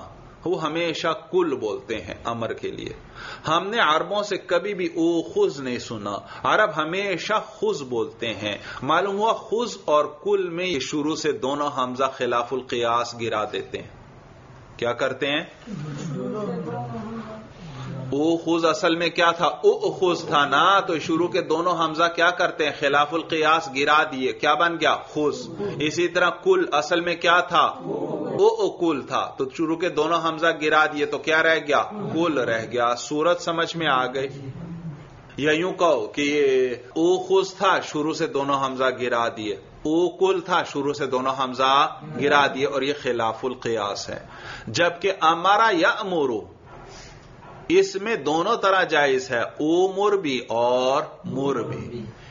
عمر بھی اربوں سے ہم نے سنا ہے اور مر بھی سنا ہے کہ دونوں حمزہ کو کیا کر لیتے ہیں؟ حذف کر لیتے ہیں۔ بات سمجھ میں آ گئی۔ اب فائدہ سنو۔ فائدہ یہ تو تمہید تھی۔ فائدہ یہ بیان کریں گے کہ دیکھیے کل خز اور مر وغیرہ میں شروع سے دونوں حمزہ کو کیا کر دیتے ہیں؟ گرا دیتے ہیں۔ کہتے ہیں اور سرفی حضرات نے اس کو شاز کہا ہے۔ کیا کہا ہے؟ شاز کیا مانا؟ اربوں سے تو ہم نے سنا ہے استعمال کے اعتبار سے تو ٹھیک ہے لیکن کوئی ضابطہ نہیں۔ بغیر کسی ضابطے کے کیا کر دیے؟ گرا دیے دونوں حمزہ شروع سے۔ کس میں؟ کل میں خز میں اور مر تو باقی صرفیوں نے اس کو کیا قرار دیا؟ شاز. قرار دیا۔ کہتے ہیں میرے استاذ محترم کی تقریر لے لیں پھر یہ شاز نہیں رہیں گے۔ اور وہ کیا فرماتے ہیں؟ وہ فرماتے ہیں کہ یہ جو کل خز اور مر ان میں قلب ہوا ہے۔ کیا ہوا ہے؟ قلب۔ قاف لام با ان میں قلب ہوا ہے۔ قلب اسے کہتے ہیں کہ ایک حرف کو اٹھا کر دوسرے کی جگہ لے جاؤ اور دوسرے کو اٹھا کر اس پہلے کی جگہ لے آؤ۔ اس کو کیا کہتے ہیں؟ قلب۔ جیسے آپ نے پڑھا ہے نحو کے اندر کہ اسمن اس کی اصل بعض کے نزدیک کیا ہے؟ بعض کے نزدیک تو وسمن ہے اور بعض کے نزدیک سیم ون دیکھا وہ آخر میں تھا۔ آخر سے اٹھا کر کہاں لے آئے؟ شروع میں لے آئے۔ تو یہ ہے قلب۔ جگہ بدل دیتے ہیں حرف کی۔ تو میرے استاذ محترم فرماتے ہیں کہ کل خز اور مر ان میں جو دو حمزہ گر گئے، یہ خلاف القیاس نہیں ہے، یہ ضابطے کے مطابق ہیں۔ البتہ باقی صرفی حضرات ضابطے کو بیان نہیں کر سکے، اس لیے انہوں نے اس کو شاز قرار دے دیا۔ کہتے ہیں یہاں دراصل قلب ہوا ہے۔ کیا ہوا ہے؟ قلب ہوا ہے۔ کس طرح؟ کہتے ہیں کل۔ اصل میں کیا تھا؟ او اکل کیا تھا؟ او اکل پھر حمزہ کو کاف کی جگہ لے گئے اور کاف کو حمزہ کی جگہ لے آئے۔ اوک ال کیا بن گیا؟ توجہ ہے۔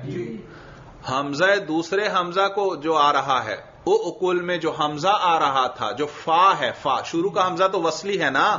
آگے دوسرا حمزہ وہ جو ہے فا۔ فا کو لے گئے کس کی جگہ؟ عین کی جگہ۔ اور عین کو لے آئے فا کی جگہ۔ تو او اکل سے کیا بن گیا؟ اوک ال توجہ ہے؟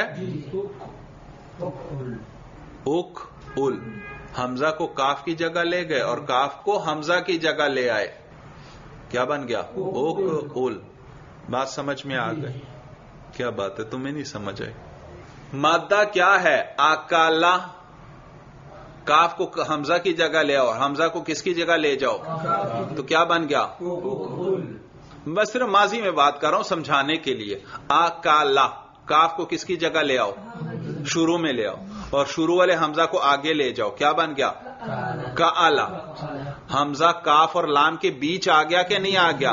تو یہی بیان کر رہے ہیں کہ او اکل نے کیا کیا؟ حمزہ کو کاف کی جگہ لے گئے اور کاف کو تو کیا بن گیا؟ اوک ال امر کا سیگا اوک ال سورج سمجھ میں آ گئی۔ پھر اس کے بعد یس والا قانون لگایا۔ یس میں کیا تھا؟ حمزہ متحرک۔ ماقبل سین کی ساکین تھا۔ تو حمزہ کی حرکت کس کو دے دی؟ سین کو۔ اور حمزہ کو حذف کر دیا۔ کیا بن گیا؟ یا سالو یا سالو، تو حمزہ متحرکہ سے ماقبل اگر حرف صحیح ساکن ہو، تو حمزہ کی حرکت ماقبل کو دے کر حمزہ کو حذف کرنا جائز ہے۔ آپ یس الو بھی بول سکتے ہیں اور یس الو بھی بول سکتے ہیں۔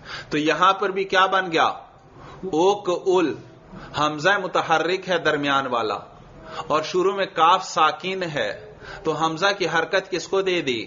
کاف کو دے دی۔ اور حمزہ درمیان والے حمزہ کو گرا دیا۔ پھر اس کے بعد جب کاف متحرک ہو گیا اب شروع کے حمزہ وصل کی ضرورت رہی نہیں۔ اس کو بھی گرا دیا۔ تو کیا بن گیا؟ کل بن گیا۔ دیکھا بات بن گئی یا نہیں بن گئی؟ اسی طرح آخازا یا خوزو اس کا امر کیا؟ خوز خوز اصل میں کیا تھا؟ او خوز پھر کیا کیا؟ فا کو عین کی جگہ لے گئے اور عین کو فا کی جگہ لے آئے تو کیا بن گیا؟ اوخ اوز۔ پھر حمزہ کی حرکت خا کو دے دی اور حمزہ درمیان والے کو گرا دیا۔ تو پھر شروع کا حمزہ وصل کی ضرورت بھی نہ رہی۔ کیا بن گیا؟ خوز بن گیا۔ سورج سمجھ میں آ اسی طرح مر اصل میں کیا تھا؟ او امور پھر قلب کیا کیا بن گیا؟ اوم اور۔ پھر حمزہ کی حرکت کس کو دے دی؟ میم کو۔ اور حمزہ کو درمیان والے کو گرا دیا۔ اور پھر جب میم متحرک ہوا تو شروع کے حمزہ وصل کی ضرورت بھی نہ رہی، وہ بھی گر گیا۔ تو کیا بن گیا؟ مر بن گیا۔ بات سمجھ میں آ گئی۔ دیکھیے بھائی افادہ، در کل و خز و مر، کہ در اصل او کل و او خز و او مر بودا۔ کہتے ہیں کل خز اور مر، کہ یہ اصل میں او کل، او خز اور او مر تھے۔ حذف حمزہ تین را شاز گفتہ اند۔ دو حمزوں کے حذف کو شاز کہا گیا ہے۔ سرفیوں نے کیا کہا ہے؟ باقی سرفی تو کیا فرماتے ہیں؟ یہ جو شروع میں دو حمزہ گر گئے، یہ کیا ہے؟ یہ شاز ہے، کوئی ضابطہ نہیں، کوئی قانون نہیں۔ حضرت استاذی دفع شزوز اینہا۔ کہتے ہیں، میرے استاذ محترم جو ہیں، دفع شزوز اینہا۔ ان کے شاز کو دور کرنا، با این نہج فرمودند۔ اس طریقے سے فرماتے تھے۔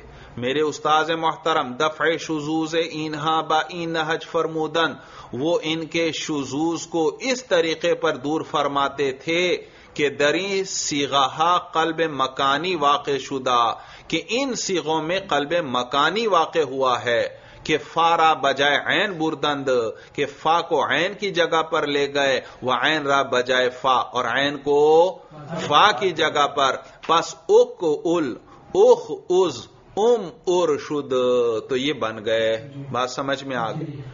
پس باقاعدہ یسلو حمزہ را حذف کر دند پس یسلو کے ضابطے سے حمزہ کو حذف کر دیا۔ وہ حمزہ وصل استغنا بھی افتاد۔ اور حمزہ وصل جو ہے استغنا حاجت نہ ہونے کی وجہ سے بھی افتاد گر گیا۔ استغنا کا کیا مانا بے پرواہ ہونا۔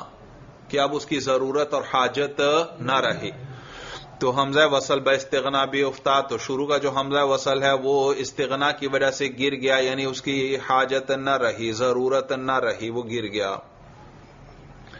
اس پر پھر اشکال ہوتا ہے کہ بھئی یس والا قانون تو جوازی ہے، وہاں یس الو بھی پڑھ سکتے ہیں اور یس الو بھی پڑھ سکتے ہیں۔ یس الو بھی پڑھ سکتے ہیں۔ تو یہاں پر بھی کل بھی ہو جائز ہونا چاہیے اور اک ال بھی جائز ہونا چاہیے۔ اعتراض یہ ہوتا ہے کہ یسلو والا قانون تو جوازی ہے اور یہاں کل اور خز اس کے اندر تو حذف وجوبی ہے۔ کل اور خز ان کے امر کی یہی صورت آئی ہے۔ تو معلوم ہوا دو حمزوں کا جو حذف ہے، کل اور خز میں وجوبی ہے۔ اور آپ جو قانون یسلو والا لگا رہے ہیں وہ تو جوازی ہے۔ اس میں تو چاہے حمزہ کو گراؤ چاہے نہ گراؤ۔ اعتراض سمجھ میں آیا؟ جی، جی۔ تو جواب دیں گے کہ بھئی ہم ضابطے کی تقریر اس طرح کریں گے کہ یہ اشکال بھی ختم ہو جائے گا۔ ضابطے کی تقریر یہ ضابطے کی تقریر یہ ضابطے کی تقریر یہ کہ یسلو والا قانون جوازی ہے۔ لیکن اگر قلب مکانی ہو جائے پھر وجوبی ہے۔ یسلو والا قانون جوازی ہے لیکن اگر قلب مکانی ہو جائے یا یوں کہو اگر قلب ہو جائے پھر کیا ہے؟ وجوبی ہے۔ تو یسلو میں قلب ہوا تھا یسلو میں یسلو میں۔ نہیں تو وہاں جوازی ہے۔ اور کل اور خز میں قلب ہوا یا نہیں؟ جی، ہوا۔ ہے۔ تو یہاں وجوبی ہے بھائی۔ یہاں اکل وغیرہ یا اک ال وغیرہ نہیں کہہ سکتے۔ یہاں کل ہی کہنا پڑے گا۔ یہاں یہ قانون کیا ہے؟ وجوبی ہے۔ اور نیز را یا را۔ را یا را۔ یا را اصل میں کیا تھا؟ یار آ۔ یار آ۔ پھر حمزہ کی حرکت را کو دی۔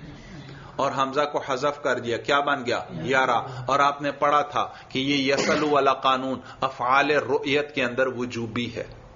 کس کے اندر؟ رویت کے اسما جو اسم ہیں ظرف اس میں آلہ وغیرہ ان میں وجوبی نہیں لیکن جو افعال رویت ہیں ان میں یہ یسل والا قانون کیا ہے۔ وجوبی ہے۔ تو ہم یوں ضابطہ بیان کرتے ہیں کہتے ہیں دیکھو یہ یسل پھر سنو، یسل والا قانون جوازی ہے، لیکن اگر قلب ہوا ہو یا وہ فیل افعال قلوب میں سے ہو، تو پھر یسل والا قانون وجوبی لگے گا۔ کیا ضابطہ ہوا؟ دوہراؤ ذرا۔ یسل والا قانون جوازی ہے۔ لیکن اگر قلب ہوا ہو یا وہ فیل کس میں سے ہو؟ افعال قلوب میں سے ہو، تو پھر یہ قاعدہ وجوبی ہے۔ اب یہ ساری چیزیں ضابطے کے مطابق ہو گئیں۔ ضابطے کے مطابق ہو گئیں۔ یارا بھی ضابطے کے مطابق ہو گیا۔ یسلو والا قانون تو جوازی ہے، لیکن یارا میں کیا تھا؟ وجوبی۔ ابھی ہم نے بتا دیا یہ کس میں سے؟ افعال قلوب میں سے۔ افعال قلوب پڑھ لیے یا نہیں پڑھے ابھی؟ ہدایت النح میں۔ ہاں آگے آ جائیں گے۔ افعال کی بحث میں افعال قلوب آ جائیں گے، جن کا تعلق دل سے ہوتا ہے، جس میں آزا سے کچھ نہیں کرنا پڑتا۔ جیسے جیسے وجد تو زیدن عالمن میں نے زید کو عالم پایا۔ میں نے زید کو عالم جانا۔ اب مجھے بتاؤ، جاننے میں یہ کوئی ہاتھ پاؤں سے کچھ کرنا پڑتا ہے یا صرف صرف قلب ہی سے اس کا پتا چل جائے گا؟ سمجھ میں آیا؟ دیکھو وجد تو جاننا اور پانا، اس میں ہاتھ اور پاؤں سے کچھ نہیں کرنا پڑتا، بلکہ یہ صرف قلب کا فیل ہے کہ اس نے جان لیا فلاں کو۔ تو وجد تو زیدن، میں نے وجد تو زیدن عالمن، میں نے زید کو عالم پایا۔ اور یہ دو مفعول چاہتے ہیں۔ وجد تو میں نے پایا زیدن کس کو؟ یہ ایک مفول اول ہے۔ اور عالمن کیا پایا؟ عالم پایا، یہ مفول ثانی ہے بھائی۔ تو یہ کچھ افعال ہیں، خاص افعال ہیں بھائی۔ ان کو افعال قلوب کہتے ہیں، اور وہ سات افعال ہیں۔ نحو کی کتابوں میں آپ پڑھ لیں گے، سات افعال ہیں۔ اور ان میں چونکہ اعضا کا دخل نہیں ہے، صرف قلب کا دخل ہے، اس لیے ان کو کیا کہتے ہیں؟ افعال قلوب۔ اور انہی میں سے ایک رویت ہے بھائی۔ رویت بھائی۔ رئی تو زیدن عالمن۔ میں نے زید کو کیا جانا؟ عالم جانا۔ اور یہ رئی تو یہ میں نے پہلے بیان کیا تھا، دونوں معنی کے لیے استعمال ہوتا ہے۔ آنکھوں سے دیکھنے کے لیے بھی اور دل سے دیکھنے کے لیے بھی یعنی جاننے کے لیے بھی۔ رئی تو زیدن۔ میں نے زید کو دیکھا۔ معلوم آنکھوں سے دیکھنا مراد ہے کیونکہ ایک مفول آیا۔ اور رئی تو زیدن عالمن معلوم دل سے دیکھنا مراد ہے۔ میں نے زید کو عالم جانا، دیکھا اب یہاں جاننے کے معنی میں ہے بھائی۔ تو دوہراؤ بھائی، ضابطہ کیا ہم نے ذکر کیا؟ یس والا قانون جوازی ہے۔ لیکن لیکن اگر فیل میں قلب ہوا ہو یا وہ فیل کس میں سے ہو؟ افعال قلوب میں سے ہو۔ جیسے رئی تو پھر یہ قانون کیا ہے؟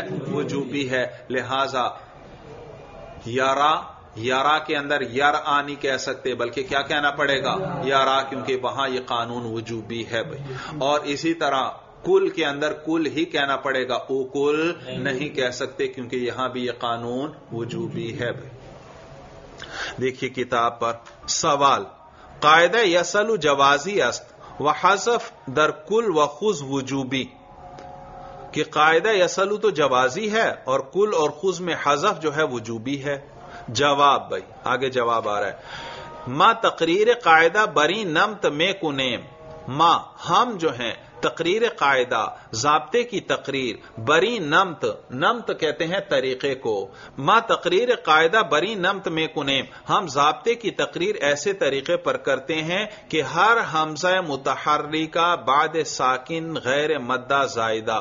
و یا تصغیر باشد، حرکت آ حمزہ بما قبل روت و حمزہ حذف شود۔ یہ وہ پورا ضابطہ ذکر کر رہے ہیں یسلو والا بھائی کہ یسلو کے اندر کیا کرتے ہیں؟ حمزہ کی حرکت ماقبل کے ساکن کو منتقل کرتے ہیں۔ یس الو حمزہ کی حرکت کس کو دی؟ ماقبل جو ساکن سین ہے۔ اور پھر حمزہ کو کیا کر دیا؟ گرا دیا۔ تو کہاں گراتے ہیں؟ وہ پوری تفصیل ذکر کر رہے ہیں۔ کہ ہر حمزہ متحرکہ، ہر وہ حمزہ جو متحرک ہو، بعد ساکن کس کے بعد ہو؟ ایسے ساکن کے بعد ہو۔ غیر مدہ زائدہ و یا تصغیر۔ یہ یا تصغیر جو ہے، اس کا عطف ہے مدہ زائدہ پر۔ کس پر عطف ہے؟ مدہ زائدہ پر۔ لہذا مدہ زائدہ کو اٹھائیں اور یہاں یا تصغیر رکھ دیں۔ غیر مدہ زائدہ و غیر یا تصغیر۔ تو یا تصغیر پر بھی گویا غیر کا لفظ داخل ہو رہا ہے بھائی، غیر کا لفظ۔ اور وہ ساکن کیا ہو؟ مدہ زائدہ سے غیر ہو یعنی اس کے علاوہ ہو، مدہ زائدہ نہ ہو۔ اور نیز یا تصغیر سے غیر ہو یعنی یا تصغیر نہ ہو۔ بات سمجھ میں آ رہی ہے؟ جی۔ کس حمزہ کی حرکت ماقبل کو منتقل کرتے ہیں؟ کہ وہ حمزہ متحرک ہو اور ماقبل ایسا ساکن ہو جو مدہ زائدہ بھی نہ ہو اور یا تصغیر بھی نہ ہو۔ یس میں حمزہ متحرک ہے اور ماقبل سین ساکن ہے اور یہ سین ساکن، کیا یہ مدہ زائدہ ہے؟ نہیں، یہ تو حرف علت ہے ہی نہیں۔ اور کیا یہ یا تصغیر ہے؟ یا تصغیر بھی نہیں۔ اس لیے حمزہ کی حرکت کس کو دے دی؟ سین کو اور حمزہ کو گرا دیا۔ تو یہ اس قانون کی شرطیں بیان ہو رہی ہیں بھائی۔ تو کہتے ہیں ہر حمزہ متحرکہ بعد ساکن غیر مدہ زائدہ و یا تصغیر باشد۔ میں نے کیا بتلایا؟ یا تصغیر پر بھی غیر کا لفظ داخل ہو رہا ہے، یہ مدہ زائدہ پر عطف ہے۔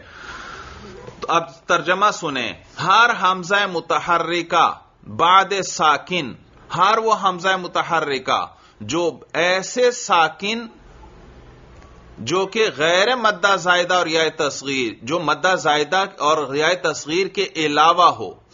پھر سنیں، ہر حمزہ متحرکہ، ہر وہ حمزہ متحرکہ، بعد ساکن غیر مدہ زائدہ و یا تصغیر۔ ترجمہ آخر سے کروں گا۔ جو یا تصغیر اور مدہ زائدہ کے علاوہ کسی ساکن کے بعد باشد ہو۔ کسی ساکن، ایسے ساکن کے بعد ہو جو مدہ زائدہ بھی نہ ہو اور یا عبارت سمجھ میں آ گئی تو کہتے ہیں ہر حمزہ متحرکہ بعد ساکن غیر مدہ زائدہ و یا تصغیر باشد، ہر وہ حمزہ متحرکہ جو یا تصغیر اور مدہ زائدہ کے علاوہ ساکن کے بعد ہو حرکت آ حمزہ بما قبل روت تو اس حمزہ کی حرکت جو ہے بما قبل روت ما قبل کو چلی جاتی ہے۔ وہ حمزہ حذف شوت اور حمزہ حذف ہو جاتا ہے۔ ضابطہ کیا ذکر کیا؟ ہر وہ حمزہ متحرکہ جو ایسے ساکن کے بعد آئے کہ وہ ساکن یا تصغیر بھی نہ ہو اور مدہ زائدہ بھی نہ ہو۔ تو اس مدہ کی حرکت ماقبل والے ساکن کو چلی جاتی ہے اور وہ حمزہ حذف ہو جاتا ہے۔ اور پھر یہ حذف ابھی انہوں نے بتایا کہ یسلو والا ابھی میں نے بتلایا، یسلو والا قانون تو ہے جوازی۔ لیکن جہاں قلب ہوا ہو، وہاں پر وجوبی ہے۔ اسی طرح افعال قلوب کے اندر بھی یہ کیا ہے؟ وجوبی۔ گویا یسلو والے قانون کی دو صورتیں ہو گئیں۔ ایک صورت ہے وجوبی اور ایک ہے جوازی۔ ضابطہ تو انہوں نے بتا دیا۔ کیا؟ کہ ہر حمزہ متحرکہ توجہ ہے، ہر وہ حمزہ متحرکہ جو ایسے ساکن کے بعد آئے کہ وہ ساکن یا تصغیر بھی نہ ہو اور مدہ زائدہ بھی نہ ہو۔ اس حمزہ کی حرکت ماقبل ساکن کو چلی جاتی ہے اور اس حمزہ کو کیا کر دیتے ہیں؟ حذف کر دیتے ہیں۔ آگے اب تفصیل بیان کرتے ہیں کہ کہاں پر وجوبن حذف کرتے ہیں اور کہاں پر جوازن میں نے بیان کر دیا۔ کیا بیان کیا کہ وجوبن کہاں حذف کرتے ہیں؟ جہاں قلب ہوا ہو اور یا وہ کس میں سے ہو؟ افعال قلوب میں سے ہو۔ اور اگر ایسا نہ ہو تو پھر حذف کیسا ہوگا؟ جوازن وہی بیان کر رہے ہیں۔ دیکھیے بھائی۔ تو کہتے ہیں، وہ حمزہ حذف شبد اور وہ حمزہ حذف ہو جاتا ہے وجوبن اور یہ حذف کیا ہوتا ہے؟ وجوبن کب؟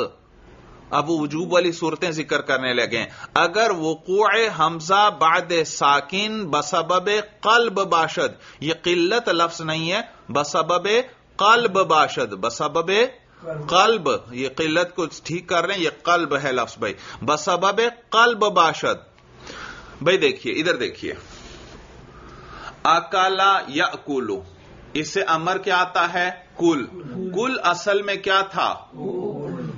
او کل او کل توجہ ہے؟ او کل انصر۔ پھر اس میں کیا ہوا؟ قلب۔ ہوا۔ حمزہ کو کس کی جگہ لے گئے؟ کاف۔ اور کاف کو کس کی جگہ لے آئے؟ حمزہ۔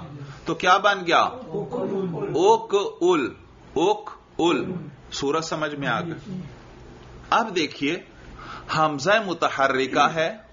اکول میں، درمیان والے حمزہ پہ نظر رکھو۔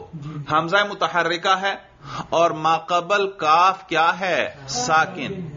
اور یہ حمزہ متحرکہ ساکن کے بعد آیا پہلے سے ہی یا قلب کی وجہ سے؟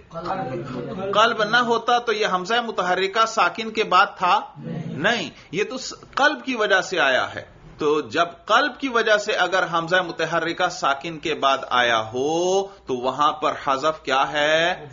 وہ یہ قانون یا سلو والا قانون وہاں وجوبن لگے گا، یہی بیان کر رہے ہیں۔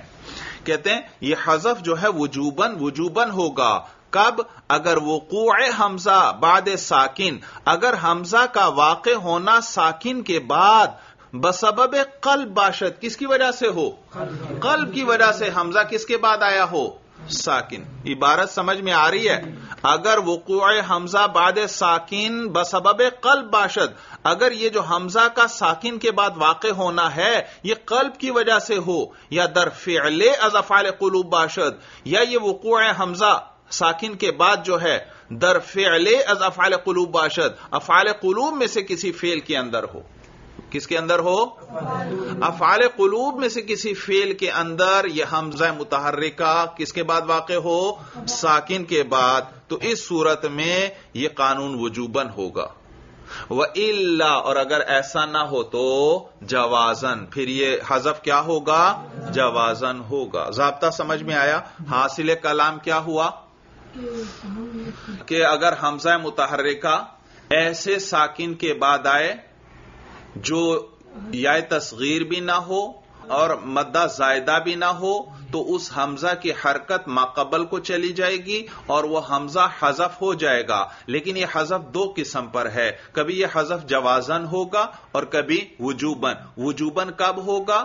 جب یہ حمزہ جو ساکن کے بعد آئی ہے قلب کی وجہ سے ساکن کے بعد آئی ہے۔ پہلے تو یہ ساکن کے بعد نہیں تھی۔ یا یہ حمزہ متحرکہ جو ساکن کے بعد ہے یہ افعال قلوب میں سے کسی فیل کے اندر ہو تو پھر یہ حذف کیا ہوگا؟ وجوبی۔ اور اگر ایسا نہ ہو تو باقی تمام صورتوں میں یہ حمزہ کا حذف کیا ہوگا؟ جوازی۔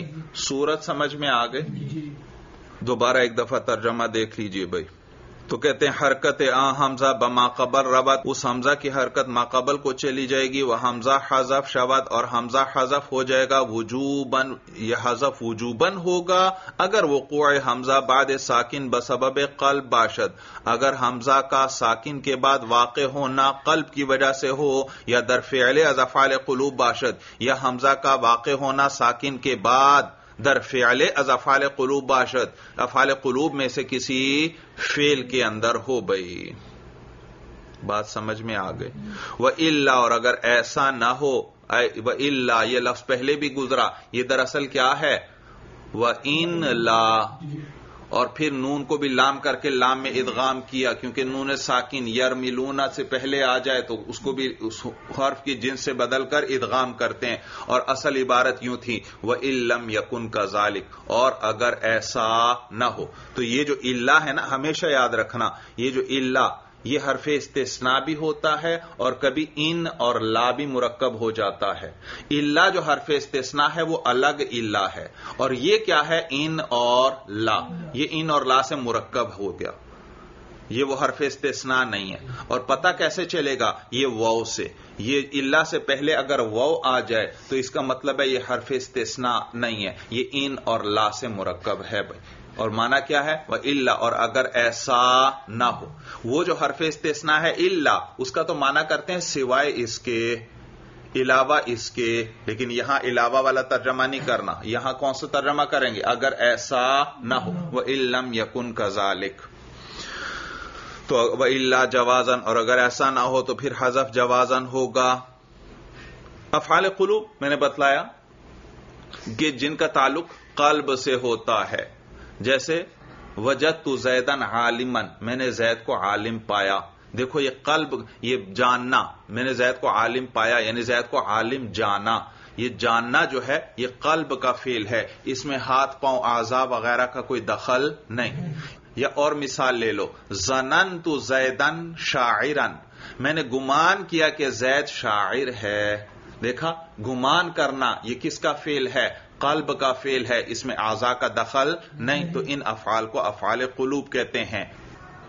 بس وجوب حذف حمزہ در افعال رویت ہم باقاعدہ اچھا انہوں نے کیا کہا تھا؟ یسل والا قانون، جوازی ہے۔ لیکن افعال رویت میں یہ قانون وجوبی ہے، اور بتایا تھا یہ بھی خلاف القیاس ہے۔ حالانکہ وہاں بھی جوازی ہونا چاہیے تھا، لیکن ہم نے عربوں سے کبھی یار آنی سنا، ہمیشہ یارا سنا ہے۔ معلوم ہوا افعال قلوب میں بھی یہ کیا ہے؟ وجوبی ہے۔ کہتے ہیں اب یہ بات ساری باتیں ضابطے کے مطابق ہو گئیں۔ کل اور خز اس میں بھی حذف وجوبی ہو گیا، کیونکہ یہاں کیا ہوا؟ قلب مکانی۔ اور افعال رویت یعنی رعیتوں میں بھی کیا ہوا؟ وہاں پر بھی حمزہ کا حذف ضابطے کے مطابق ہوا، کیونکہ ہم نے ضابطے میں افعال قلوب کی قید بڑھا دی یا نہیں بڑھا دی؟ بس وجوب حذف حمزہ، بس حمزہ کے حذف کا واجب ہونا در افعال رویت۔ کس میں؟ افعال رویت میں ہم باقاعدہ یہ بھی ضابطے کے مطابق ہے۔ وہ دری ہر سے سیگا ہم باقاعدہ اور ان تینوں سیغوں میں بھی ضابطے کے مطابق ہے۔ کل، خز اور مر میں۔ بات سمجھ میں آ گئی۔ وہ امتناع حسف حمزہ در اسماء رویت ہم باقاعدہ است. امتناع کا معنی ممتنع ہونا، جائز نہ ہونا. حذف حمزہ بھائی افعال رویت، توجہ ہے؟ افعال رویت میں یہ یسل والا قانون وجوبی ہے. کس میں؟ اور اسماء رویت میں یہ قانون وجوبی نہیں، وہاں جوازی ہی ہے. جو رویت کے اسم ہیں را سے ظرف آتا ہے یا نہیں آتا؟ اس میں آلہ بھی آتا ہے اس میں تفضیل وغیرہ بھی آتے ہیں۔ تو یہ جو اسم ہے اس میں فائل بھی آئے گا اس میں مفعول بھی آئے گا۔ تو یہ جو اسما ہیں ان کے اندر اگر یہ ضابطہ لگے گا تو جوازی رہے گا۔ یعنی حمزہ کے حذف کے ساتھ بھی ان اسما کو پڑھ سکتے ہیں اور بغیر حذف کے بھی پڑھ سکتے ہیں۔ تو افعال رویت میں یہ یسل والا قانون وجوبی اور اسماء رویت کے اندر یہ قانون جوازی۔ تو کہتے ہیں اب یہ ساری چیزیں ضابطے کے مطابق ہو گئیں۔ افعال رویت میں ہم نے ضابطے میں کیا قید بڑھا دی؟ افعال رویت کی۔ اسماء رویت کی قید ہم نے نہیں بڑھائی۔ کس کی بڑھائی؟ افعال رویت۔ تو افعال رویت میں، لہذا افعال رویت میں یہ قاعدہ کیا ہوگا؟ وجوبی۔ اور اسماء رویت کے اندر یہ قاعدہ کیا رہے گا؟ جوازی۔ سب چیزیں ضابطے کے مطابق ہو گئی تو کہتے ہیں وہ امتناع حذف حمزہ، اور حمزہ کے حذف کا ممتنع ہونا۔ توجہ ہے، یہاں عبارت سمجھ لیں اچھی طرح۔ کہتے ہیں وہ امتناع حذف حمزہ، اور حمزہ کے حذف کا ممتنع ہونا، ناجائز ہونا۔ در اسماء رویت، کس میں؟ اسماء رویت میں۔ ہم باقاعدہ یہ بھی ضابطے کے مطابق ہے۔ اب پھر سنو۔ اسماء رویت میں حمزہ کا حذف ناجائز ہے؟ امتناع حذف حمزہ۔ حمزہ کے حذف کا ممتنع ہونا۔ کس میں؟ اسماء رویت افعال رویت میں کیا ہے؟ وجوبی۔ اور اسماء رویت میں کیا ہے؟ جوازی ہے۔ اور عبارت سے دیکھو تو عبارت سے تو یہ لگ رہا ہے کہ اسماء رویت میں حذف حمزہ ممتنع ہے۔ حذف کر ہی نہیں سکتے۔ امتناع حذف حمزہ۔ جی۔ اور حمزہ کے حذف کا ممتنع ہونا ناجائز ہونا۔ حالانکہ ناجائز ہے یا جائز ہے وہاں؟ جائز ہے۔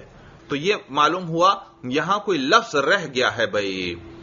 تو تو یہ اصل میں یوں عبارت یوں ہونی چاہیے وہ امتناع وجوب حذف حمزہ۔ وہ امتناع وجوب حذف حمزہ۔ تو حذف سے پہلے وجوب کا لفظ مضاف محذوف ہے۔ امتناع وجوب حذف حمزہ۔ یا تو یہ کسی لکھنے والے سے غلطی سے رہ گیا ہے یا اس کو یہاں محضوف مان لیں بھائی۔ تو بہرحال یہ یاد رکھیں۔ امتناع وجوب حذف حمزہ۔ اب عبارت ٹھیک ہو گئی۔ کیسے؟ حذف حمزہ کا وجوب ممتنع ہے۔ اسماء رویت میں حذف حمزہ کا وجوب ہے یا وجوب ممتنع ہے؟ جب وجوب ممتنع ہے معلوم جائز ہے۔ جی۔ واجب نہیں۔ وجوب ممتنع کا کیا مانا واجب نہیں ہے۔ تو وجوب ہے یا وجوب ممتنع ہے؟ یہی تو بیان کر رہے ہیں۔ دیکھا، عبارت سمجھ میں آ گئی۔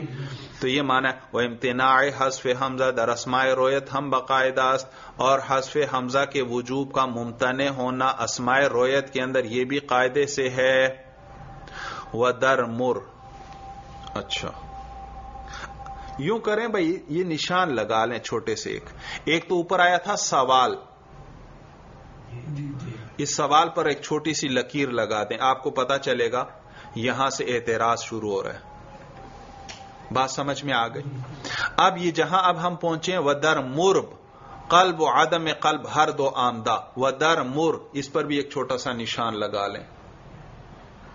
اس بحث کے ہم حصے کر لیتے ہیں نا، بات کو سمجھنا آسان ہو جائے گا۔ ابھی تک کیا کیا باتیں بیان ہوئی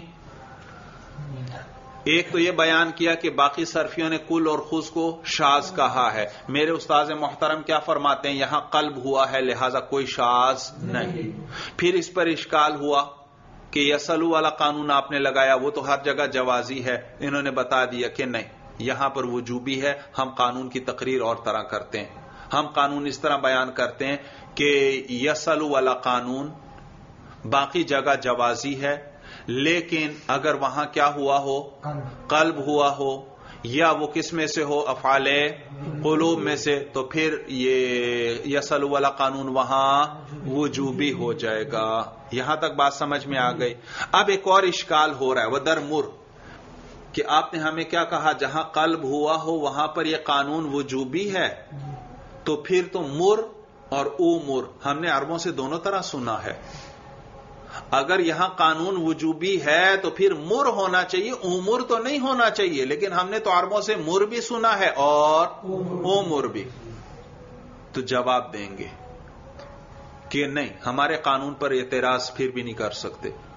در اصل یہاں پر مور کے اندر اصل میں کیا تھا؟ او مور او مور کے اندر قلب بھی آیا ہے اور غیر قلب بھی آیا ہے.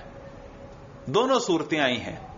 تو جہاں قلب آیا، وہاں وہ مر بن گیا اور اس کو مر ہی پڑیں گے. اور جہاں قلب نہیں ہوا، وہاں امور پڑیں گے. تو اس میں دونوں صورتیں آئی ہیں، قلبی اور عدم توجہ ہے کہ مر میں ہم نے عربوں سے دونوں سنے ہیں اور آپ تو بتا رہے ہیں کہ یہ قانون وجوبی ہے تو صرف مر ہونا چاہیے۔ عمر تو نہیں ہونا، حالانکہ ہم نے عربوں سے دونوں سنے ہیں۔ تو جواب دیا کہ بھائی مر کے اندر، یہ مر اور عمر، اس کے اندر قلب بھی آیا ہے اور آدم جہاں قلب ہوا تھا، وہاں مر پڑھتے ہو۔ جہاں قلب نہیں ہوا، وہاں کیا پڑھتے ہو؟ امور تو یعنی اس سیغے کو عرب دونوں طرح استعمال کرتے ہیں، قلب کے ساتھ بھی اور بغیر۔ اور جب قلب کے ساتھ استعمال کریں، تو پھر وہ مر بولتے ہیں۔ اور جب بغیر قلب کے استعمال کریں، تو پھر امر بولتے ہیں۔ تو یہ مانا نہیں کہ قلب ہونے کے باوجود دونوں صورتیں جائز ہیں۔ نہیں نہیں، جب قلب ہو جائے پھر تو قانون وجوبن لگے گا اور پھر مر ہی پڑیں گے۔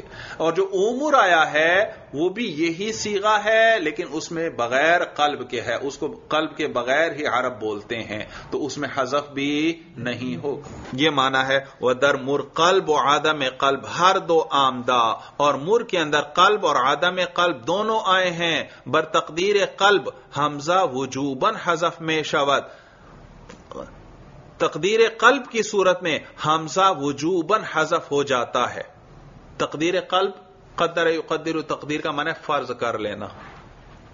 یہ جو مصنف بتا رہے ہیں، ضابطے کی صورت بنا دی۔ یہ قلب ہمیں نظر آ رہا ہے یا ہم نے فرض کر لیا، یہاں پر کیا ہوا ہے؟ قلب ہوا۔ ہم نے کیا کر لیا؟ فرض۔ کر تو کہتے ہیں وہ سورت جب آپ قلب فرض کریں گے تو پھر مر ہی پڑھنا پڑے گا۔ اور جب آپ قلب کو فرض نہیں کریں گے تو پھر کیا پڑھیں گے؟ او مر۔ تو یہ دونوں طرح آیا ہے۔ جبکہ کل اور خز وہ صرف کل اور خز ہی آئے ہیں۔ معلوم ہوا وہاں ہمیشہ قلب ہی ہوا ہے۔ بغیر قلب کے عرب نے کبھی استعمال ہی نہیں کیا۔ یہ مانا ہے، کہتے ہیں، بر تقدیر قلب، حمزہ وجوبن حذف میں شوت قلب کی تقدیر پر یعنی قلب فرض کرنے کی صورت میں، حمزہ وجوبن حذف میں شوت حمزہ جو ہے وجوبن حذف ہو جائے گا۔ و لہذا ام ار آمدہ۔ اسی لیے ام ار نہیں آیا۔ قلب کی صورت میں اگر حمزہ کا حذف وجوبی نہ ہوتا، کیا ہوتا؟ جوازی ہوتا۔ تو پھر ام ار ام ار قلب تو ہوا ہے، لیکن حمزہ کو نہیں گرایا۔ تو یہ بھی تو آنا چاہیے تھا، لیکن ہم نے عربوں سے کبھی یہ نہیں سنا۔ معلوم ہوا۔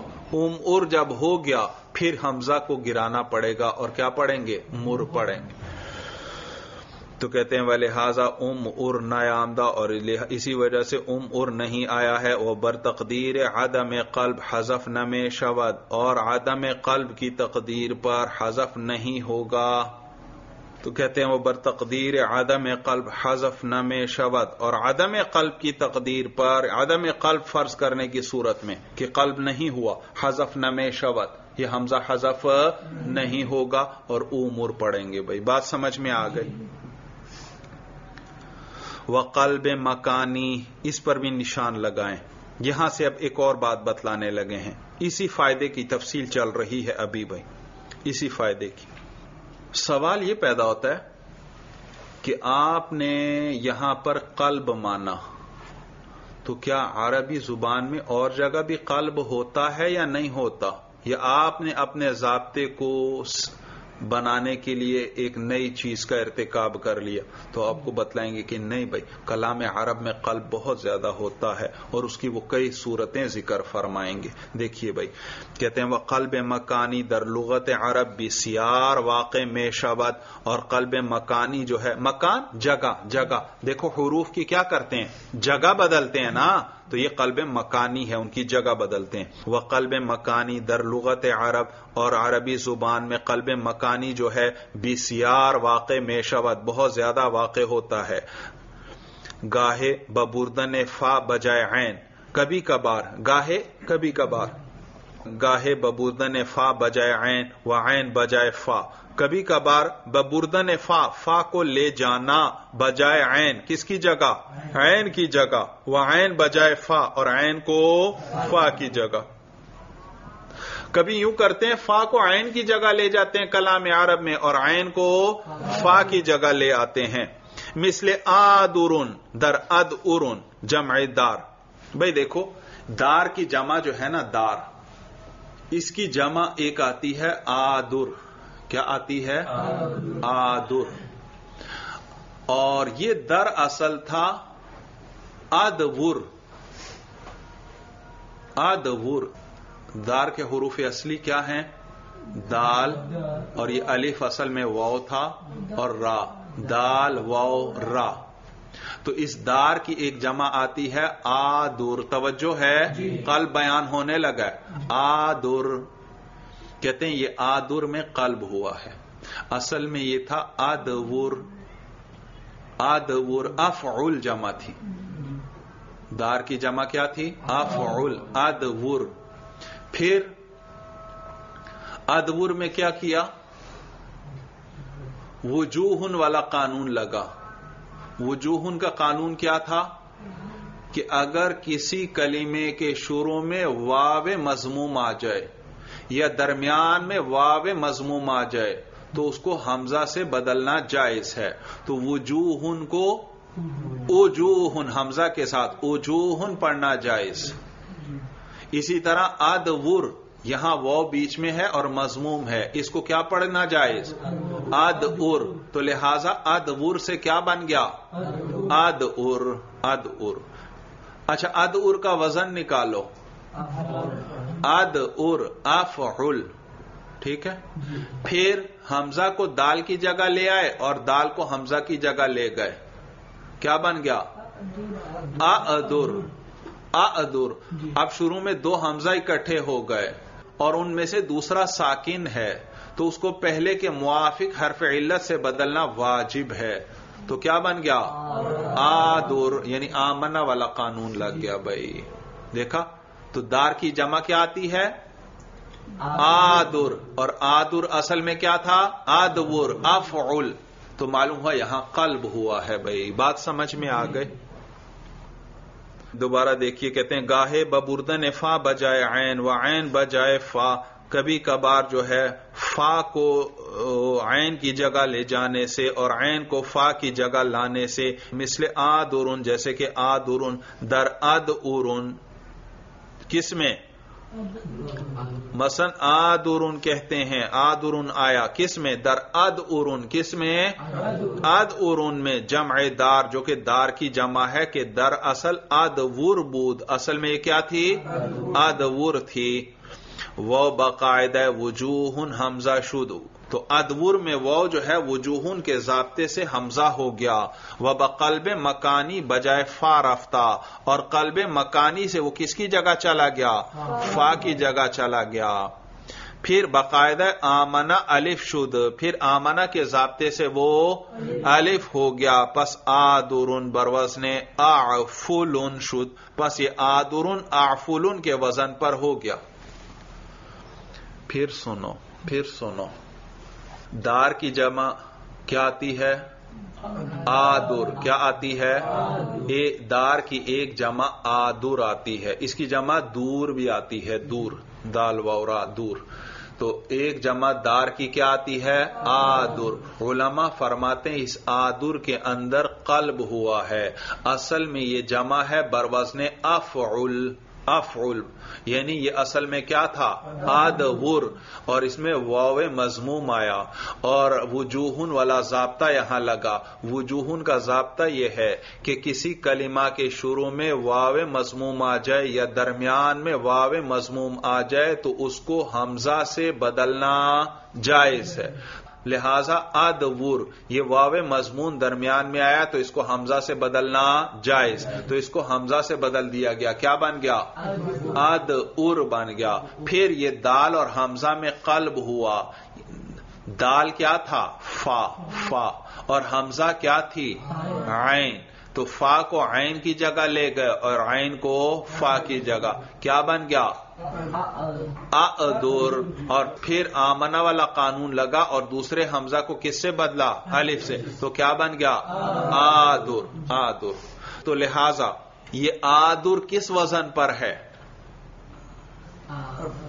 اصل میں تو تھا افعل، لیکن فا کو عین کی جگہ لے گئے اور عین کو فا کی جگہ۔ تو اب اس کا وزن کیا ہے؟ آفل فا کو کس کی جگہ لے گئے؟ عین کی جگہ۔ اور عین کو کہاں لے آئے؟ فا کی جگہ۔ تو کیا بن گیا؟ آفل طریقہ سمجھ میں آ گیا؟ یہ مانا ہے پس آ دورن بر وزن آفل شد، پس آ دور آفل کے وزن پر ہو گیا۔ کتاب میں آپ کے آقل لکھا ہوگا، بھائی قاف نہیں ہے، یہ فا ہے بھائی، فا۔ یہ تھی ایک صورت کس کی؟ قلب کی۔ توجہ ہے؟ مثال بھی دے دی کلام عرب سے کہ اس میں کیا کیا؟ فا کو عین کی جگہ لے گئے اور عین کو فا کی جگہ لے آئے۔ اب دوسری صورت بتانے لگے قلب کی۔ وگاہے ببردن عین بجائے لام اور کبھی کبھار عین کو لام کی جگہ پر لے جانے سے۔ کبھی کبھار بردن کا معنی لے جانا عین کو لام کی جگہ پر لے جانے سے۔ چون قیسی یون جیسے قیسی یون در قووسن جمع قوس۔ بھائی یاد رکھو قوس کہتے ہیں کمان کو۔ کس کو کہتے ہیں؟ کمان. کو۔ اس قوس کی جمع آتی ہے قیسی یون عربی میں استعمال ہوتی ہے قیسی یون اور قوس میں ذرا ترتیب دیکھیں۔ قاف، واو اور سین۔ اور قیسی یون میں ذرا ترتیب دیکھیں۔ قاف، سین اور یا۔ معلوم ہو وہ واو یا سے بدل گیا ہے۔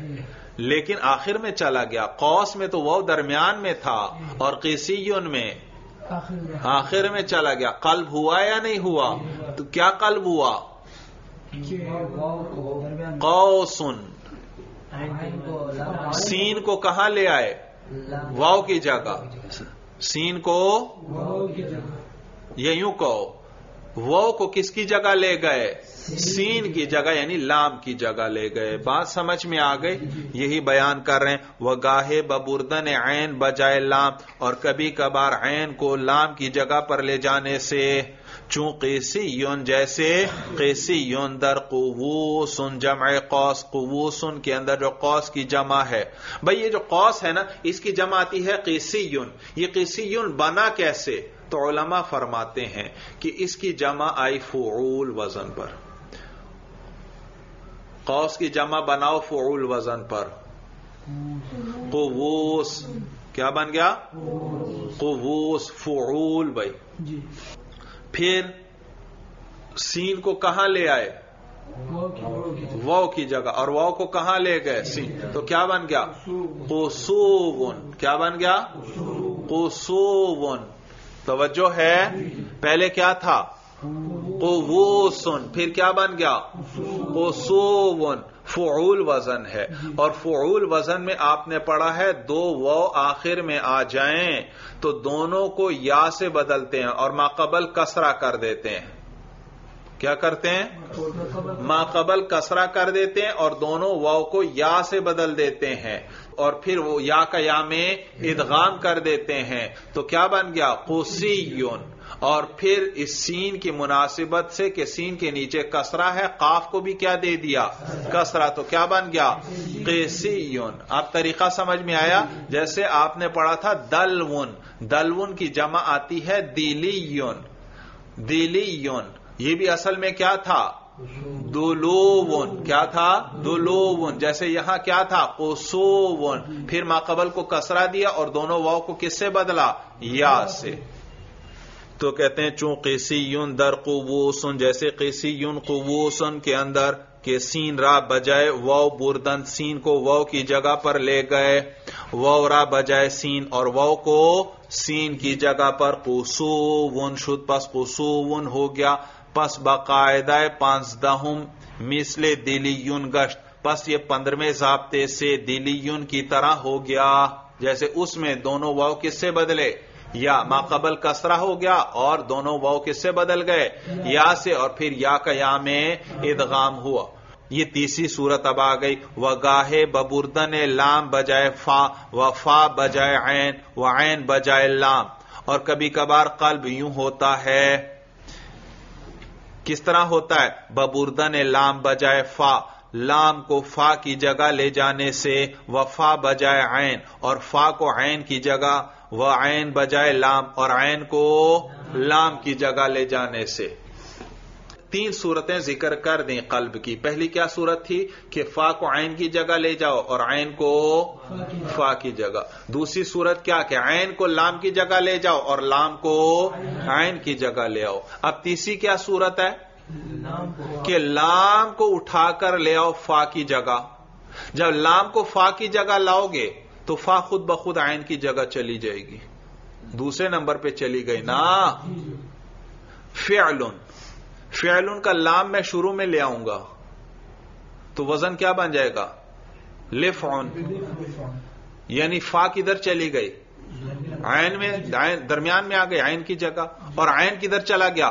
لام کی جگہ۔ بات سمجھ میں آ رہی یہی بیان کریں وہ گاہے ببردن لام بجائے فا، کہ اور کبھی کبھار لام کو فا کی جگہ لے جانے سے، وفا بجائے عین اور فا کو عین کی جگہ لے جانے سے، وہ عین بجائے لام اور عین کو لام کی جگہ لے جانے سے۔ چون اشیاء، جیسے کہ اشیاء، کہ در اصل شی بود، کہ اصل میں یہ کیا تھا؟ شی تھا۔ اس میں جمع شے ان یہ اس میں جمع ہے شے ان کی۔ مثل نعما مثل نعما آپ کی کتابوں میں ہوگا نعما یہ کتابت کی غلطی ہے بھائی۔ نعما نون پر زبر لگائیں اور عین کو ساکن کریں۔ نعما جمع نعمت۔ یہاں تک بات سمجھ میں آ گئی؟ دیکھو بھائی، جیسے کہتے ہیں اشیاء۔ شے ان کی جمع آتی ہے اشیاء۔ کیا آتی ہے؟ اشیاء۔ علماء فرماتے ہیں کہ یہاں قلب ہوا ہے۔ اصل میں تھا شی فعلا توجہ ہے؟ فعلا جیسے نعما تو یہ فعلا اس وزن پر ذرا شے ان کو لے جائیں۔ شے ان میں ذرا ترتیب دیکھیں۔ فا کی جگہ کیا ہے؟ شین. اور عین کی جگہ یا. اور لام کی جگہ حمزہ. اب اسی سے بنا لو فعلا شے ان سے بنا لو فعلا شے آ سورج سمجھ میں آ گئی. پھر کیا کیا گیا؟ یہ جو پہلی حمزہ ہے. بعد والی حمزہ تو زائد ہے نا. بعد والی حمزہ تو زائد ہے. تو پہلی حمزہ کیا ہے؟ یہ لام کلمہ ہے۔ اس حمزہ کو اٹھا کر شروع میں لے آئے یعنی شین کی جگہ یعنی فا کی جگہ۔ جی۔ اس حمزہ کو فا کی جگہ لائے تو شین خود بخود کہاں چلا گیا؟ آئن کی جگہ۔ اور جو یا تھی وہ کہاں چلی گئی؟ لام کی جگہ۔ تو کیا بن گیا؟ اشیا او دیکھا قلب ہوا ہے۔ سورج سمجھ میں آ گئی۔ تو کہتے ہیں چون اشیاء جیسے اشیاء کے در اصل شی ابود کے اصل میں یہ شی آ تھا، اس میں جمع شی جو کہ اس میں جمع ہے شی ان کی۔ بھائی ایک ہے جمع، ایک ہے اس میں جمع۔ ایک ہے جمع، ایک ہے اس میں جمع۔ جمع یاد رکھو، اس کے مخصوص وزن ہوتے ہیں۔ کیا ہوتے ہیں؟ مخصوص وزن ہوتے ہیں۔ جیسے قلم کی جمع، اقلام، افعال، یہ افعال مخصوص وزن ہے جمع کا۔ بہت ساری جمع اس افعال وزن پر آتی ہیں۔ یا جمع کی دوسری مثال جیسے کتب، جمع ہے کس کی؟ کتاب کی۔ کتاب کی۔ یا ایک اور وزن ہے جمع کا، جیسے فعلتن۔ طالبن کی جمع کیا؟ طالبہ طالبہ طلبتن، فعلتن۔ دیکھا؟ تو جمع کے کیا ہے؟ مخصوص اوزان۔ تو طلبہ، اس کا مفرد کیا؟ طالب. اسی طرح کتب، اس کا مفرد کیا؟ کتاب. اس طرح اقلام کا مفرد کیا؟ قلم. تو جمع کے مخصوص اوزان ہوتے ہیں اور ان کا مفرد بھی ہوتا ہے. اسی مفرد سے تو یہ جمع بنی ہے. جی. تو لہذا جمع جو ہوتی ہے، اس کے مخصوص اوزان ہوتے ہیں اور اس کا مفرد بھی ہوتا ہے۔ اسی مفرد کو اس مخصوص وزن پر لے جاتے ہیں تو وہ جمع بن جاتا ہے۔ تو جمع کس کو کہتے ہیں؟ جس کا کوئی مفرد بھی ہو اور وہ کسی جمع کے خاص وزن پر آئے۔ اور اگر ایسا نہ ہو، ایک لفظ ہے، وہ مانا تو جمع کا ادا کر رہا ہے، لیکن جمع کے وزن پر نہیں۔ یا اس کا مفرد نہیں تو اس کو اس میں جمع کہتے ہیں۔ کیا کہتے ہیں؟ جو مانا تو جمع کا ادا کر رہا ہے، لیکن جمع کے وزن پر نہیں اور اس کا مفرد بھی نہیں۔ جیسے قوم قوم تین سے لے کر دس تک مردوں کی جماعت کو کہتے ہیں۔ اور دیکھو، یہ جمع کا وزن نہیں ہے۔ اور اس کا مفرد بھی نہیں ہے، یہ تو خود مفرد ہے۔ قوم کی جمع کیا آتی ہے؟ اقوام۔ تو جمع کسے کہتے ہیں؟ جو خاص وزن پر ہو، جمع کے جمع کے مخصوص اوزان ہے۔ اور اس کا مفرد بھی ہو۔ لیکن قوم کیا ہے؟ یہ یہ مانا تو جمع کا ادا کر رہا ہے۔ جمع کے کتنے افراد ہوتے ہیں کم از کم؟ تین یا زیادہ۔ تو قوم ان، دیکھو مانا تو جمع کا ہی ادا کر رہا ہے۔ تین یا تین سے زیادہ مرد ان کو کیا کہتے ہیں؟ قوم۔ لیکن یہ جمع کا وزن نہیں۔ اور نیز اس کا مفرد بھی نہیں آتا۔ سورج سمجھ میں آ گئی۔ تو اس کو اس میں جمع کہتے ہیں۔ اس میں جمع۔ جمع والا اسم یعنی جمع نہیں ہے۔ جمع کا اسم یعنی ایک ایسا اسم ہے جو جمع والا معنی ادا کر رہا ہے۔ پھر دوہراؤ۔ جمع کسے کہتے ہیں؟ جو اس کے خاص اوزان ہوتے ہیں، ان وزنوں پر آئے اور نیز اس کا مفرد بھی ہوتا ہے۔ اسی سے جمع بنے گی نا؟ لیکن اس میں جمع میں ایسا نہیں ہوتا۔ وہ جمع کے مخصوص وزن پر بھی نہیں ہوتا اور اس کا مفرد کا ہونا ضروری نہیں۔ مفرد آ بھی سکتا ہے لیکن ضروری نہیں۔ لیکن جمع کے اندر مفرد کا آنا کیا ہے؟ ضروری۔ یہ جو شی فعلا وزن بتایا انہوں نے، یہ اس میں جمع ہے۔ جمع نہیں ہے، بلکہ کیا ہے؟ اس میں جمع ہے۔ تو اس کے لیے مفرد کا ہونا ضروری نہیں۔ مفرد آ بھی سکتا ہے لیکن ضروری نہیں۔ لیکن جمع کے اندر مفرد کا آنا کیا ہے؟ ضروری۔ کہتے ہیں چون اشیاء کے در اصل آ بود جیسے کہ اشیاء کی یہ اصل میں آ تھا اس میں جمع شی ان جو اس میں جمع ہے شی ان کی بئی۔ بات سمجھ میں آ گئی؟ تو اس میں اس کا اس میں جمع ہے شی ان تو اس میں مفرد ہونا ضروری نہیں لیکن مفرد ہو بھی سکتا ہے جیسے یہاں شی ان ہے۔ تو اس کی اس میں جمع کیا آ گئی؟ جمع نہیں کہیں گے، کیونکہ یہ جمع کے اوزان پر نہیں ہے۔ کس کو؟ فعلا کس کو؟ یہ فعلا شیعا جو آیا، یہ جمع نہیں ہے، بلکہ کیا ہے؟ اس میں جمع ہے۔ کیوں اس میں جمع ہے؟ کیونکہ اس جمع کے اوزان پر نہیں ہے۔ جمع کے خاص اوزان ہے اور ہمیشہ جمع کے لیے مفرد بھی ہوتا ہے، لیکن اس میں جمع کے لیے مفرد ہونا ضروری نہیں۔ تو کہتے ہیں کہ چون اشیاء، جیسے اشیاء کے در اصل شے آ ابود کی، اصل میں شے آ تھا، اس میں جمع شے ان یہ اس میں جمع ہے شے ان کی مثل ناما اس میں جمع نعمت، جیسے کہ ناما یہ اس میں جمع ہے نعمت کی۔ اس پر اشکال ہوتا ہے۔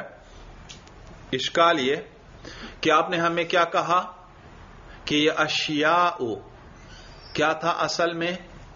شیعاء آپ اس کو سیدھا سیدھا اشیاء کو اسی طرح رکھیں اور اس کا بتا دیں کہ یہ افعال وزن پر ہے۔ افعال، توجہ ہے۔ اشیاء افعال افعال۔ شی ان میں فا کی جگہ کیا؟ شین۔ افعال اشیاء اشیا میں ذرا وزن نکالو اس کا۔ اشیا شین، یا اور حمزہ آ رہے ہیں یا نہیں؟ اور شے ان میں بھی شین، یا اور حمزہ ہیں۔ اسی ترتیب سے ہے نا؟ تو اشیاء فائن نام لگا دیں ذرا۔ افعال، دیکھا؟ تو آپ نے ہمیں کیا کہا؟ کہ شے ان کی جمع ہے شے اور پھر اس شے میں قلب ہوا اور کیا بن گیا؟ اشیاء۔ اس کے بجائے سیدھا سیدھا کہہ دیں یہ افعال وزن پر ہے اور افعال جمع کا وزن ہے۔ قلم کی جمع کیا آتی ہے؟ اقلام افعال آتی ہے۔ تو یہاں بھی شے کی جمع کیا آ گئی؟ اشیاء۔ بروزن افعال۔ تو آپ کو جواب دیں گے کہتے ہیں نہیں ہم یہ نہیں کہہ سکتے۔ اس لیے کیونکہ اشیاء غیر منصرف ہے۔ بھائی اشیاء کا لفظ کیا ہے؟ غیر منصرف ہے۔ اور غیر منصرف کے لیے تو کوئی سبب کا ہونا ضروری ہے کہ اس میں کیا ہو؟ دو سبب ہو منا صرف کے، یا کوئی ایک سبب جو قائم مقام دو کے ہو، وہ اس کے اندر پایا جائے۔ اگر ہم اس کو افعال وزن پر مان لیں عرب سے تو ہم نے سنا وہ اس کو ہمیشہ غیر منصرف پڑھتے ہیں۔ پھر تو غیر منصراف کا کوئی سبب نہیں رہے گا۔ کس کا؟ غیر منصرف کا کوئی سبب نہیں رہے گا۔ افعال کوئی سبب ہے نہیں۔ جمع منتحل جمعہ تو یہ نہیں ہے۔ جمع منتحل جمعہ ہو پھر تو کیا کہتے؟ یہ دو سببوں کے قائم مقام۔ لیکن یہ تو افعال وزن ہے۔ تو اس میں تو ایک بھی سبب نہیں۔ سورج سمجھ میں آ گئی۔ لیکن عرب اس کو کیا پڑھتے ہیں؟ غیر منصرف۔ غیر منصرف ہے تو لازمی بات ہے کوئی سبب ہے اس کے اندر؟ جبھی کیا پڑھ رہے ہیں؟ غیر منصرف۔ لہذا اگر آپ اس کو افعال مان لیں۔ تو اس کے غیر منصرف پڑھنے کی کوئی وجہ آپ کو نہیں ملے گی۔ لیکن اگر آپ ہماری بات مان لیں، اس کو کس وزن پر مان لیں؟ فعلا، کس وزن پر مان لیں؟ فعلا وزن پر مان لیں۔ اب اس کے غیر منصرف ہونے کی وجہ بھی مل گئی، علت بھی مل گئی۔ کیا؟ کہ فعلا کے آخر میں الف ممدودہ ہے۔ اور آپ نے پڑھا ہے کہ الف ممدودہ یہ دو سببوں کے قائم مقام ہے۔ بات سمجھ میں آ رہی ہے؟ تو یہ دو سببوں کے الف ممدودہ ہو اور زائدہ یہ دو سببوں کے قائم مقام ہے۔ اب یہ غیر منصرف ہو گیا اور پھر شیعہ اسے قلب کے ذریعے کیا بن گیا؟ اشیاء بن گیا۔ بھائی سورج سمجھ میں آ گئی۔ دیکھیے، کہتے ہیں وہ اشیاء بروز نے افعال نمے تمانت شد اور اشیاء جو ہے وہ افعال کے وزن پر نہیں ہو سکتا۔ زیرا کے زیرا کا معنی اس لیے اس لیے۔ زیرا کے اشیاء غیر منصرف است۔ اس لیے کہ اشیاء لفظ غیر منصرف ہے۔ وہ بر تقدیر بودنش بروزن افعال۔ اور اس کے افعال وزن پر ہونے کی تقدیر پر۔ اگر ہم اس کو کیا فرض کر لیں، کس وزن پر ہے؟ افعال۔ وہ بر تقدیر بودنش بروزن افعال۔ اور بروزن افعال پر ہونے کی تقدیر پر سبب برائے منع صرف آ یافتہ نمے کوئی سبب اس کے منع صرف کا نہیں ملے گا۔ یافتن کا معنی پانا، کوئی نہیں، سبب کوئی نہیں پایا جائے گا۔ تو کہتے ہیں وہ بر تقدیر بودنش بر وزن افعال، سبب برائے منع صرف آ یافتہ نمے اور اس کے افعال وزن پر ہونے کی تقدیر پر کوئی ایک سبب برائے منع صرف آ، اس کے غیر منصرف ہونے کے لیے یافتہ نمے شوت پایا نہیں جائے گا۔ و لہذا اسلش بروز نے فعلا قرار دادند۔ لہذا اس کی اصل جو ہے فعلا وزن پر قرار دی ہے۔ صرفی حضرات نے اس کی اصل افعال وزن پر نہیں، بلکہ فعلا وزن پر قرار دی کہ حمزہ ممدودہ سبب منا صرف کہ اس میں جو حمزہ ممدودہ ہے وہ منا صرف کا سبب ہے۔ بات سمجھ میں آ رہی ہے؟ حمزہ ممدودہ جو ہے وہ اس کے منا صرف کا سبب ہے۔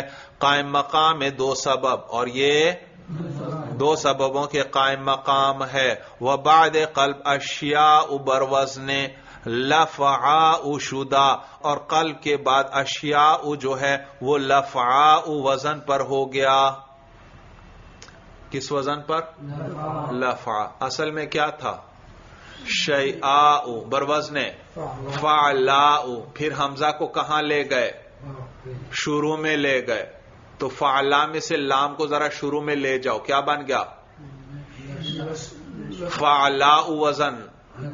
لفعا تو یہ لفعا بن گیا یا نہیں؟ تو یہ مانا ہے کہ اشیاء بر وزن لفعا شدہ اشیاء کس وزن پر ہو گیا؟ لفعا یعنی لام کو اٹھا کر فا کی جگہ لے آئے ہیں۔ فا خود بخود عین کی جگہ چلی گئی اور عین خود بخود لام کی جگہ چلا گیا۔ بات سمجھ میں آ گئی؟ یہ آپ کی کتابوں میں تف ہوگا بھائی، یہ تا نہیں ہے، یہ لام ہے۔ تو بر وزن لفا شدہ، یہ لفا وزن پر ہو گیا۔ اچھا بھائی، چلیے بس کریں۔ اب اردو کی کتاب میں سے بھی دیکھ لیں۔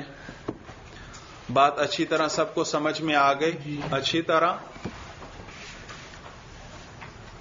دیکھیے بھائی اردو کی کتاب میں سوال، اس تقریر سے ظاہر ہوا کہ اصل قاعدہ صرف یعیدوں میں پایا جاتا ہے۔ عبارت مل گئی؟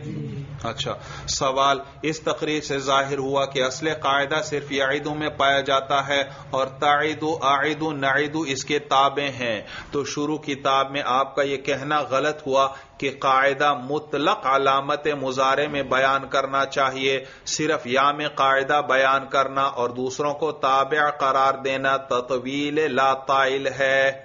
آپ کی یہ تقریر جو آپ نے شروع میں کی تھی، اس کا آپ کا یہ کہنا غلط ہوا۔ جواب، تحریر قواعد کے دو پہلو ہوتے ہیں۔ ایک تو قاعدہ کی تقریر، دوسرے قاعدہ کے سبب اور نقطہ کا بیان۔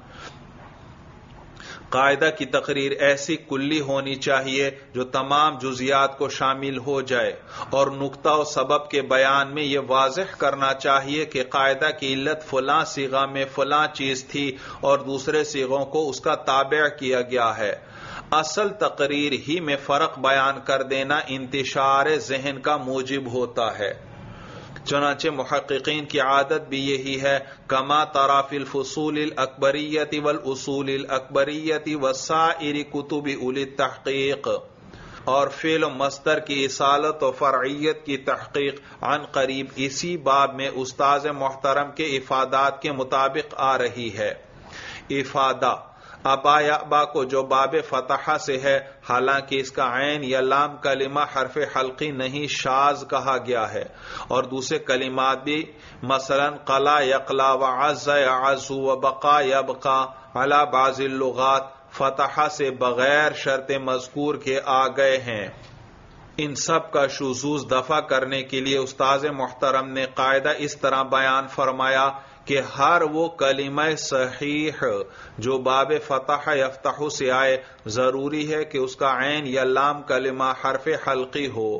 قاعدہ میں صحیح کی قید بڑھانے سے ان سب کلمات کا شزوز ختم ہو گیا، کیونکہ ان میں سے بعض ناقص اور بعض مضاف ہیں۔ افادہ کل خز اور مر میں جو در اصل او کل او خز اور او مر تھے، دونوں حمزہ حذف کرنے کو شاز کہا گیا ہے۔ استاذ محترم نے ان کا شزوز اس طرح دور فرمایا کہ ان سیغوں میں قلب مکانی ہوا ہے کہ فا کو عین کی جگہ رکھ دیا گیا، چنانچہ اک، ال، اخ، اس اور ام، ار ہو گئے۔ پھر یسلو کے قاعدہ سے حمزہ کو حذف کیا تو حمزہ وصل بھی استغنا کی وجہ سے گر گیا۔ سوال یسلو کا قاعدہ تو جوازی ہے اور کل و خز میں حذف واجب ہے۔ جواب ہم قاعدہ اس طرح بیان کرتے ہیں کہ ہر وہ حمزہ متحرکہ جو ساکن غیر مدہ زائدہ و غیر یا تصغیر دیکھا؟ یا تصغیر پر کیا لفظ داخل کر دیا؟ غیر بھائی۔ پھر دیکھیں عبارت۔